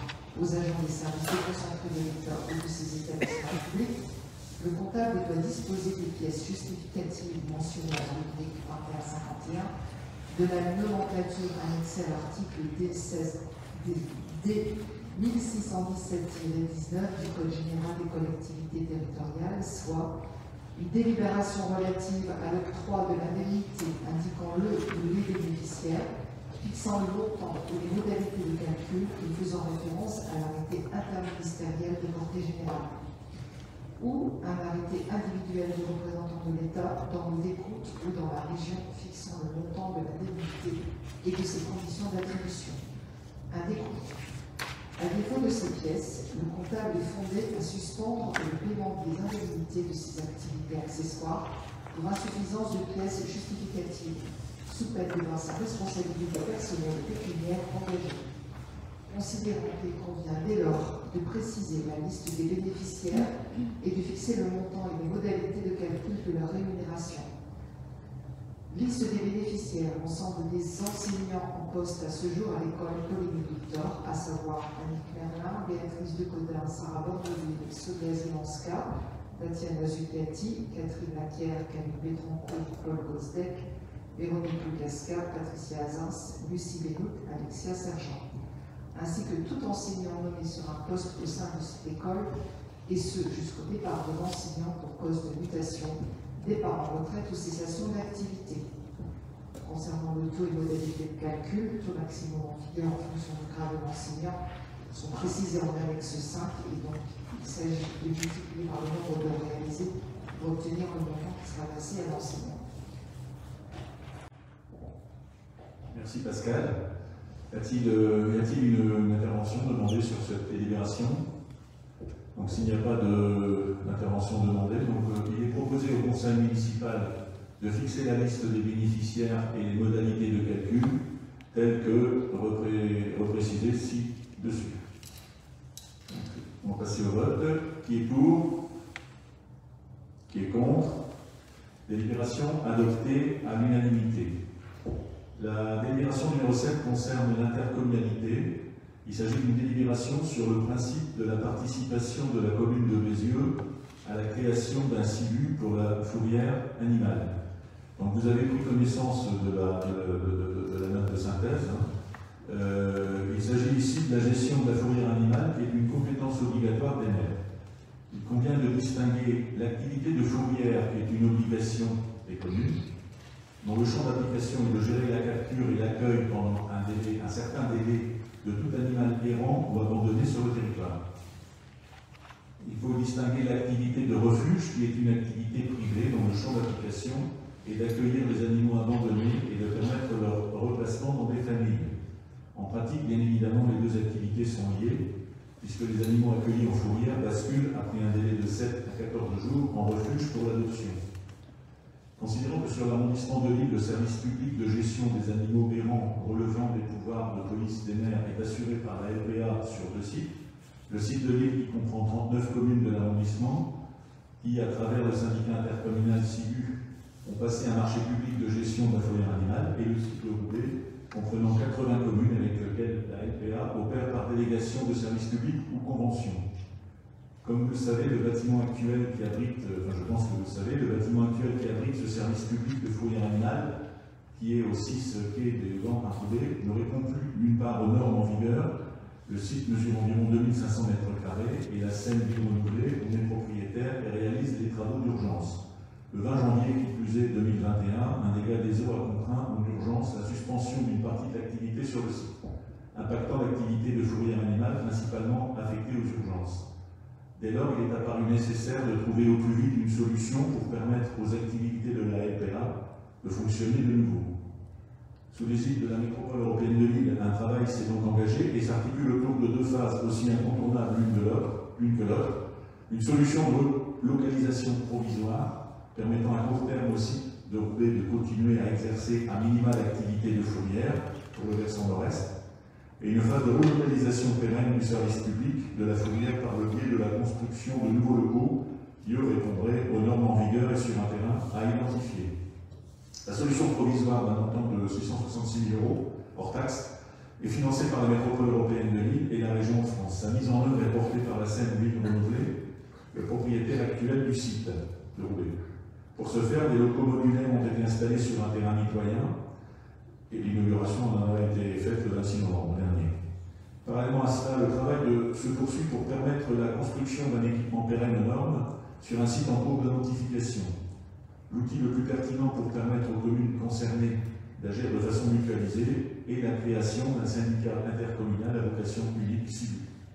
La création de ce CIVU permettra de lancer une AMO, de réaliser l'équipement et de le faire fonctionner via le lancement d'une procédure de la commande publique pour désigner le gestionnaire du site. Lors d'une réunion organisée le 29 novembre dernier à Bernay, en présence du secrétaire général de la préfecture, il a été rappelé que la gestion d'une fourrière animale est une compétence obligatoire des maires. La préfecture a ainsi rappelé que les communes qui choisisseraient de ne pas adhérer au futur CILU de gestion de fourrière animale seraient tenues de justifier le respect de l'exercice de cette compétence qui leur incombe. Ainsi, l'ensemble des 80 communes ayant conventionné avec la du- sur le site de Roubaix ont été sollicitées pour rejoindre également cette structure juridique mutualisée et de délibérer en ce sens. Y a-t-il des questions, des remarques ou des interventions demandées sur cette délibération? Apparemment, non, donc je pense que tout est clair. Donc il est proposé au conseil municipal d'acter le principe de création d'un CILU pour la gestion de la fourrière animale et d'engager les démarches nécessaires à la création de ce CILU pour la gestion de la fourrière animale avec l'ensemble des communes intéressées. Nous allons passer au vote. Qui est pour? Qui est contre? La délibération est adoptée à l'unanimité. Je vous remercie. La délibération numéro 8 concerne euh, elle est relative à l'enquête publique sur la modernisation de l'aéroport de l'île Léquin. La société Aéroport de l'île SAS, gestionnaire de l'aéroport de l'île Léquin par concession de service public délivré par le SMANIM, propriétaire de la plateforme, porte un projet de modernisation de l'aéroport de l'île Léquin. Ce projet s'étale sur la durée de la concession 2020-2039 et comporte deux volets. Un premier volet de mise aux normes réglementaires de sécurité de la plateforme aéroportuaire actuelle. L'extension, afin d'accueillir entre 3,4 et 3,9 millions de passagers d'ici 2039, contre 2,2 millions en 2019, avec une augmentation du nombre de mouvements évalué par l'aéroport de Lille à plus 12% de mouvements totaux en 2039. Eu égard à la nature de ce vaste projet, qui concerne le cadre de vie des habitants des communes environnantes, et notamment Bézieux, commune qui est considérée de l'ère d'influence. La demande d'autorisation environnementale conjointe à la demande d'autorisation du permis de construire, émise par Aéroport de Lille SAS, fait l'objet d'une enquête publique du 10 janvier au 1er mars 2022, auprès, auprès de 67 communes, dont Bézieux. Au départ, c'était jusqu'au 15 février, il a été prolongé. Dans le cadre de l'enquête publique en cours, la préfecture demande aux organes délibérants des collectivités territoriales et de leurs groupements intéressés par le projet, ce qui est notre cas, de donner leur avis sur la demande de permis de construire, conjointe à la demande d'autorisation environnementale. Ces avis ne pourront être, ne pourront être pris en compte que s'ils sont exprimés au plus tard dans les 15 jours suivant la date de clôture de l'enquête publique, c'est-à-dire avant le 15 mars 2022. Alors, vu le Code général des collectivités territoriales, notamment l'article L 2121-29, vu le Code de l'environnement, et notamment ses articles L 180-10, 2 et R 181-38, vu le rapport délibéré de l'autorité l'autorité environnementale N0AE 2021-87, il est proposé au conseil municipal soit d'émettre un avis favorable conditionné sur la modernisation du terminal en fixant un couvre-feu d'au moins 7 heures d'affilée dans le créneau souhaité de 23 à 6 heures, de 23 heures à 6 heures, une exigence que les lignes accueillies représentent un équivalent de temps de transport de plus de 3 heures de trajet afin de favoriser les transports propres, ou d'émettre un avis défavorable à l'extension de l'aéroport et des pistes, au regard de la situation géographique de l'aéroport de l'île des Quins, cerné par une zone urbaine dense, une extension accentuerait encore les nuisances relatives à la qualité de l'air, au bruit et de manière générale contribuerait encore à une dégradation de la qualité de vie des habitants. La métropole lilloise est desservie par cinq aéroports qui sont Roissy, Bruxelles, Zaventem, Charleroi, Beauvais, Bruges-Ostend, qui sont tous à une heure de Lille environ et bien desservis par TGV, lignes de bus et réseaux autoroutiers. Je voudrais savoir s'il y a des interventions demandées sur cette délibération. Monsieur Delruc.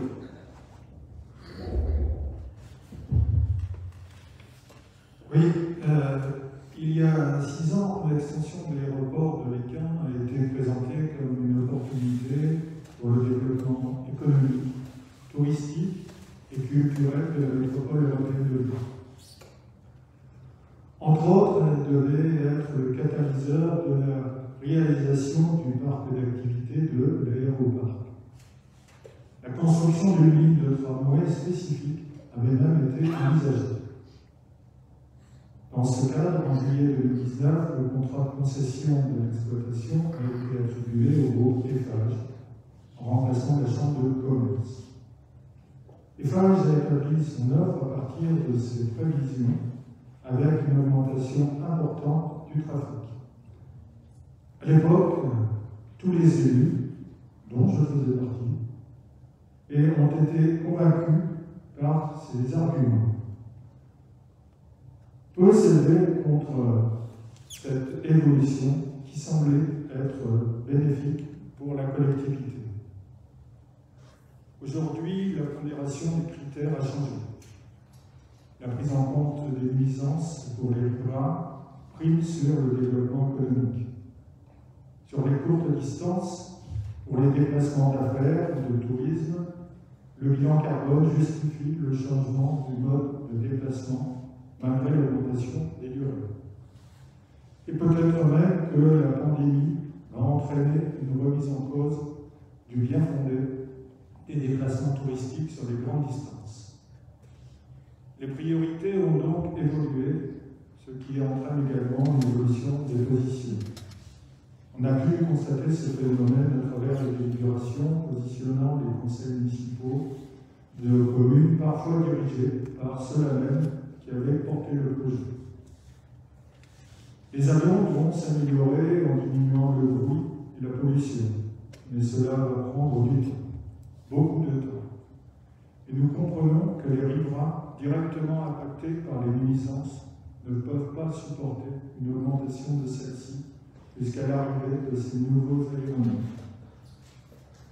Les membres, du groupe Unis pour Bézieux voteront donc la délibération qui est présentée et qui, euh, vaut le statu quo des nuisances et une amélioration de l'accueil des passagers.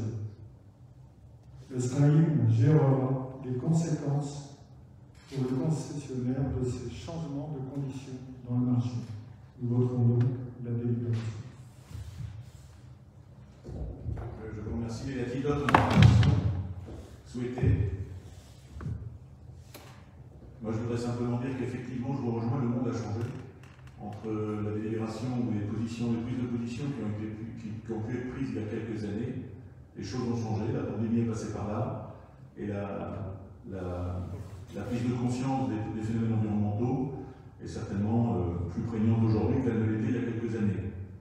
Donc nous avons aujourd'hui à, délibérer sur, euh, à prendre position, soit un avis favorable, conditionné sur la modernisation du terminal, avec couvre-feu de 7 heures, exigence que les lignes accueillies représentent un équivalent de temps de transport, plus de 3 heures, ou un, un avis défavorable à l'extension de l'aéroport et des pistes. Au regard de la situation géographique, je ne répète pas ce que je vous ai dit tout à l'heure, vous l'avez compris. Donc, je vais poser la question de façon à ce que ce soit clair. Qui émet un avis favorable sur la modernisation du terminal? Modernisation du terminal. Uniquement là-dessus Non. Non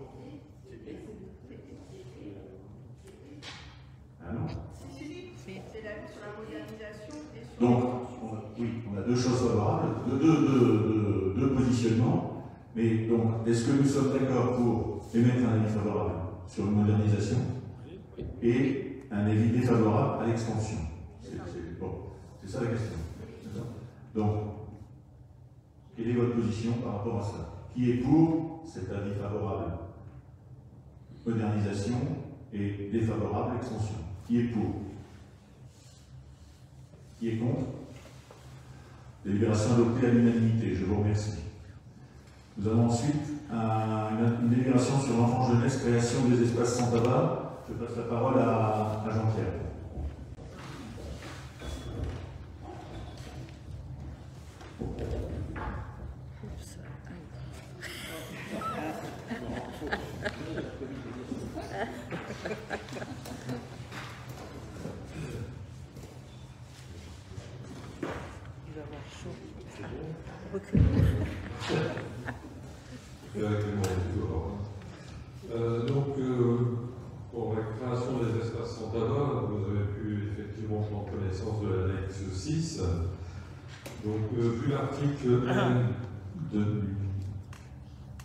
2121 du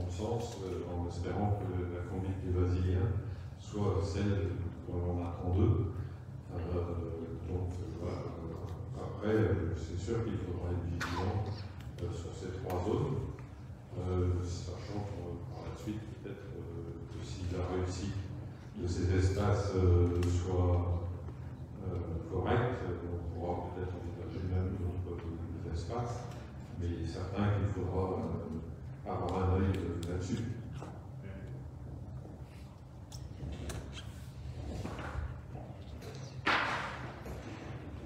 Vous avez raison hein, sur votre remarque, elle est pertinente. Le, bon, j'ai envie de dire que c'est un petit peu comme la quand elle a été mise en œuvre il y a, il y a 20 ou 25 ans, on est un peu dans le même esprit, il faut, faire évoluer les modalités. Et je pense que l'exemplarité a, dit bon. Alors évidemment, on n'a pas solutionné la. On n'a pas la réponse à la question posée aujourd'hui. Mais bon, je pense qu'il faut y aller, puisque c'est euh, une démarche euh, quand même positive. Donc voilà. Y a-t-il d'autres qui veut intervenir ou pas Oui. Non, juste aussi un, petit complément sur le sujet. Nous avons travaillé euh, avec évidemment la, la, contre le cancer sur, certains sujets, donc les relais pour la vie et puis, d'autres choses. Euh, L'objectif aussi, je pense, c'est un peu le, but de la Ligue, c'est d'avoir vraiment un volet prévention et un volet pédagogique. Malheureusement, c'est vrai, il y aura toujours des gens qui euh, voilà, une minorité, mais euh, je pense que dans un, premier temps, il faut, vraiment essayer ce, volet pédagogique, euh, ce volet prévention. Ça rentre vraiment dans la prévention contre, contre la maladie. Et c'est par des gestes du quotidien aussi qu'on arrivera à travers le sport, à travers l'hygiène de vie, à pouvoir un jour, espère, travailler cette.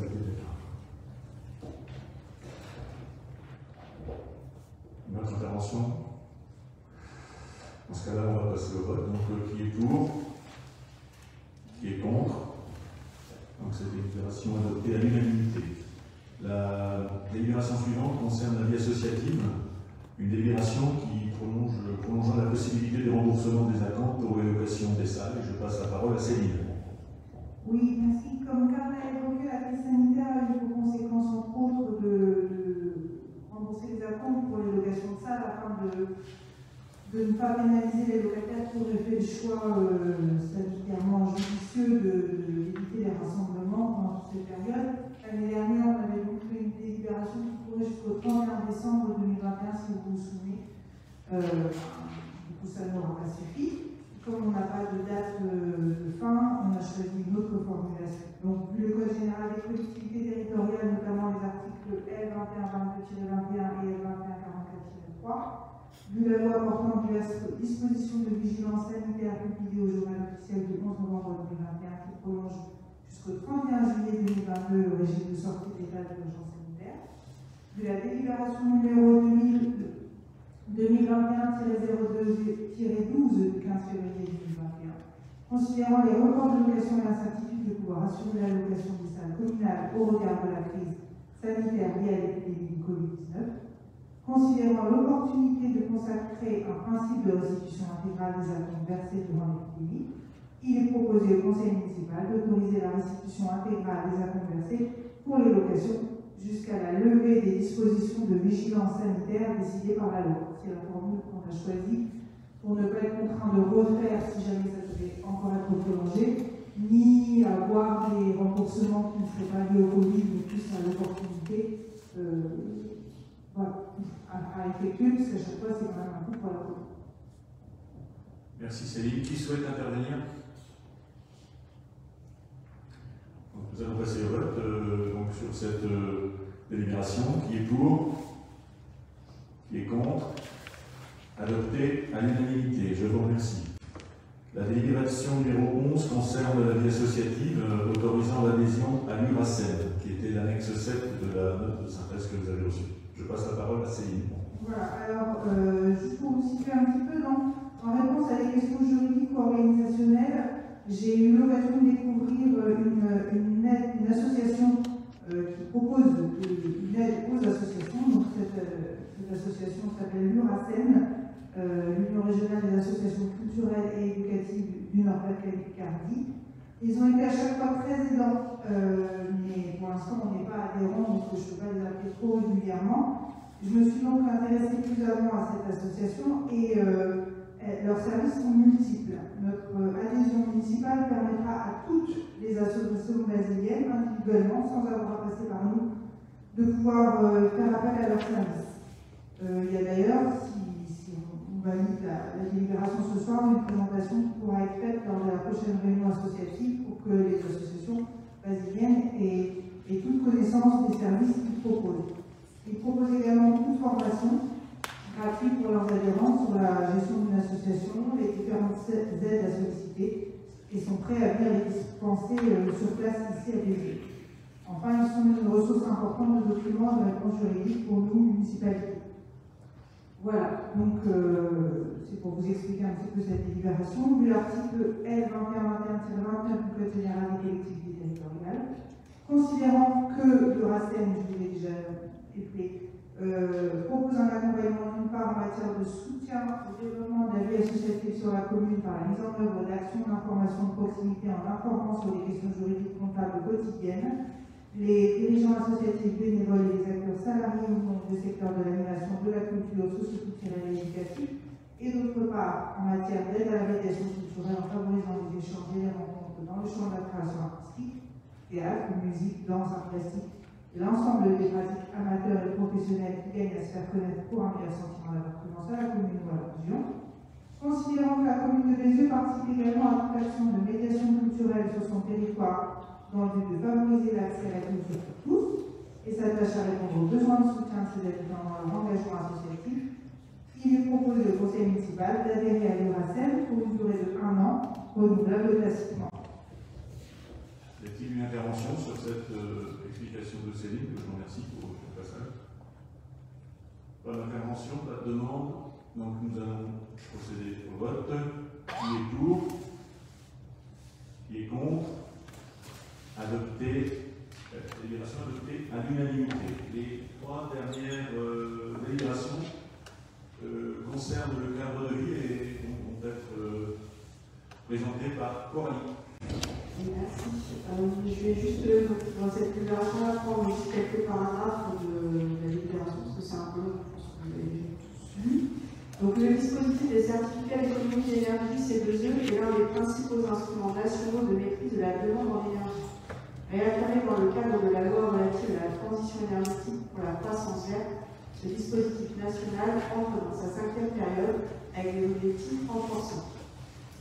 Dans le cadre du schéma métropolitain de mutualisation et conformément aux objectifs de réduction de la demande en énergie inscrits dans le plan climat air énergie territoriale adopté en février 2021, le Conseil métropolitain a validé le 15 octobre 2021 la poursuite de cette offre de services mutualisés pour la période 2022-2025 a fixé les modalités de mise en œuvre le 17 décembre 2021. Donc, ce service mutualisé est mis à disposition des communes volontaires via l'adoption d'une convention de prestation de services conclue avec la MED définissant précisément les modalités de mise en œuvre pour la période 2022-2023. Au cours du second semestre 2023, un avenant à cette convention sera proposé à chaque adhérent du dispositif afin de la prolonger pour deux nouvelles années et fixer les modalités financières de vente des C2E pour la période 2024-2025. Je vais passer après le reste, si ça ne vous pas. Pour préciser que la valorisation des C2E représente un double levier, un levier financier supplémentaire pour favoriser le passage à l'action et un levier technique visant à garantir un haut niveau de performance énergétique. Donc, au tout cela, le Code général des collectivités territoriales, considérant l'intérêt de la commune de Bézieux de renouveler son adhésion au dispositif métropolitain de valorisation des certificats d'énergie, considérant que l'adhésion est gratuite et que la commune paye des frais de gestion en fonction de la quantité de ces deux déposés et perçoit en contrepartie une recette, il est proposé au conseil municipal de renouveler l'adhésion au dispositif métropolitain de valorisation des certificats d'économie d'énergie. Est-ce que quelqu'un souhaite intervenir Merci. Est-ce que quelqu'un souhaite intervenir sur cette délibération? Pas d'intervention. Nous allons passer au vote. Qui est pour? Qui est contre? Délibération adoptée à l'unanimité. La délibération suivante, cadre de vie, Coralie délibération autorisant la signature d'une convention pour la mise à disposition d'un terrain au profit des bûchers communautaires.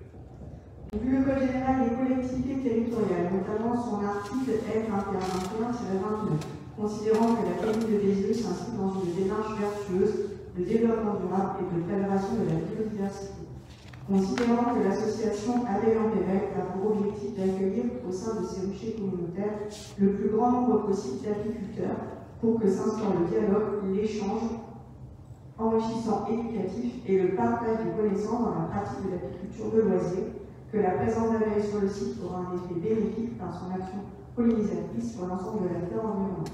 Il est proposé au conseil municipal d'autoriser l'installation de ruchers communautaires sur un terrain municipal sur une modalité prévue dans la convention reprise en annexe.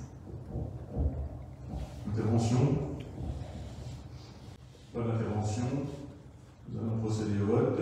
Donc, qui est pour? Qui est contre? Adopté à l'unanimité. La dernière délibération concerne la signature d'une convention pour les ambassadeurs du développement durable. Vu le Code général des collectivités territoriales, notamment son article R2121-21, considérant que la commune de Bézieux s'inscrit dans une démarche vertueuse de développement durable et souhaite dans ce cas bénéficier de l'accompagnement du Centre de ressources pour le développement durable, le CERD, considérant que le dispositif ambassadeur du développement durable est un dispositif de sensibilisation tout public au développement durable à l'échelle de la région Hauts-de-France, son animation est assurée par le CERF et les interventions publiques sont réalisées par les ambassadeurs, acteurs identifiés et formés par le CERF en vue d'intervention généraliste, pédagogique et de mise en œuvre du développement durable. Le dispositif compte plus de 100 ambassadeurs en région pour l'année 2021 et vise à un total de centaines d'interventions sur l'année 2021. 2022, L'opération ambassadeur du développement durable respecte un principe de l'accès à tous à la connaissance du développement durable et pour ce faire un principe d'équité tant au niveau de l'accès des structures commanditaires des interventions que la gratuité de celles-ci. Considérant que la commune de Bézieux participe par le biais d'un binôme élu agent au cycle des territoires participatifs portés par le CERD, Il est proposé au conseil municipal d'autoriser la signature de conventions reprises en annexe qui prévoient l'intervention d'un ambassadeur du développement durable auprès de l'ensemble des membres du conseil municipal afin de sensibiliser les élus et de leur apporter une connaissance commune des sujets abordés. Merci Coralie. Est-ce que quelqu'un souhaite intervenir? Pas d'intervention, donc nous allons passer au vote. Qui est pour? Qui est contre? Donc délibération adoptée à l'unanimité. Je vous remercie. Les dernières délibérations sont des décisions du maire, donc je ne vais pas les détailler. Vous les avez eu, euh, vous avez les éléments par, euh, donc dans la, dans la note de synthèse. Donc la 15, la 16, la 17 et la 18, c'est une demande de subvention au titre de la DSIL pour aire de jeu, pour le développement numérique, pour le- les équipements en LED des bâtiments municipaux et la création du relais d'un relais petit enfance et espace polyvalent. Et la 19, euh, c'est une demande de subvention au titre du FIPD pour le développement d'équipements de, de vidéoprotection. Donc euh, il n'y a pas de vote pour ce genre de, choses. Mais avez-vous des questions ou des remarques sur ces, demandes de subvention? Pas de remarques, pas de, pas de questions. Je vous remercie. Dans les questions diverses, je voudrais euh, donc vous donner la date du prochain conseil municipal qui va se dérouler le 7 avril. Je voudrais également vous rappeler donc euh, la cérémonie à la citoyenneté et j'invite euh, vraiment tous les conseillers municipaux à cette cérémonie qui va se dérouler le 18 mars. Donc cérémonie à la citoyenneté pour les jeunes euh, de 18 ans. Et enfin, et surtout, donc, euh, je pense que ça ne vous a pas échappé, mais euh, nous, sommes dans une année électorale, donc euh, les élections se dérouleront le 10 et le 24 avril prochain. Et donc, je souhaite faire appel à toutes les bonnes volontés par demi-journée, je, rappelle, hein, pas par deux heures ou trois heures, c'est demi-journée matin, après-midi. La présence est vraiment obligatoire, hein, il faut que tout le monde soit là, on a besoin. Donc, euh, je vous invite à, prendre contact avec Hélène le plus rapidement possible euh, pour donner vos créneaux euh, de présence les 10 et 24 avril. Donc, ça va être chargé. Le 7, le 7 avril, conseil municipal. Le 18 mars, cérémonie. Et surtout, le 10 et 24 avril, élection présidentielle. Avez-vous d'autres euh, questions diverses euh, soulevées Moi, je, souhaitais, oui, simplement euh, faire un petit coucou à André Caudron, présenter André Caudron, membre de l'opposition qui ne la connaissent pas peut-être. André nous a rejoint le 6 décembre dernier en tant qu'assistant juridique et à l'œuvre en particulier pour tout ce qui concerne les, sujets d'urbanisme un peu compliqués. Nous sommes très heureux d'avoir accueilli André qui a une expérience d'une trentaine d'années en collectivité. Depuis le 6 décembre dernier. Voilà, oui, euh, Christian, vous voulez ajouter quelque chose? Euh, C'est une simple question. Euh, Est-ce que les six conseillers municipaux de la liste unie pour Bézieux font partie intégrante du conseil municipal? Si, la réponse est oui, dans ce cas, pourquoi nous n'avons pas été sollicités pour la distribution du, du document bilan Action 2021, projet 2022 Ou est-ce un oubli? Car on assure régulièrement la distribution du Basileco depuis le début du mandat.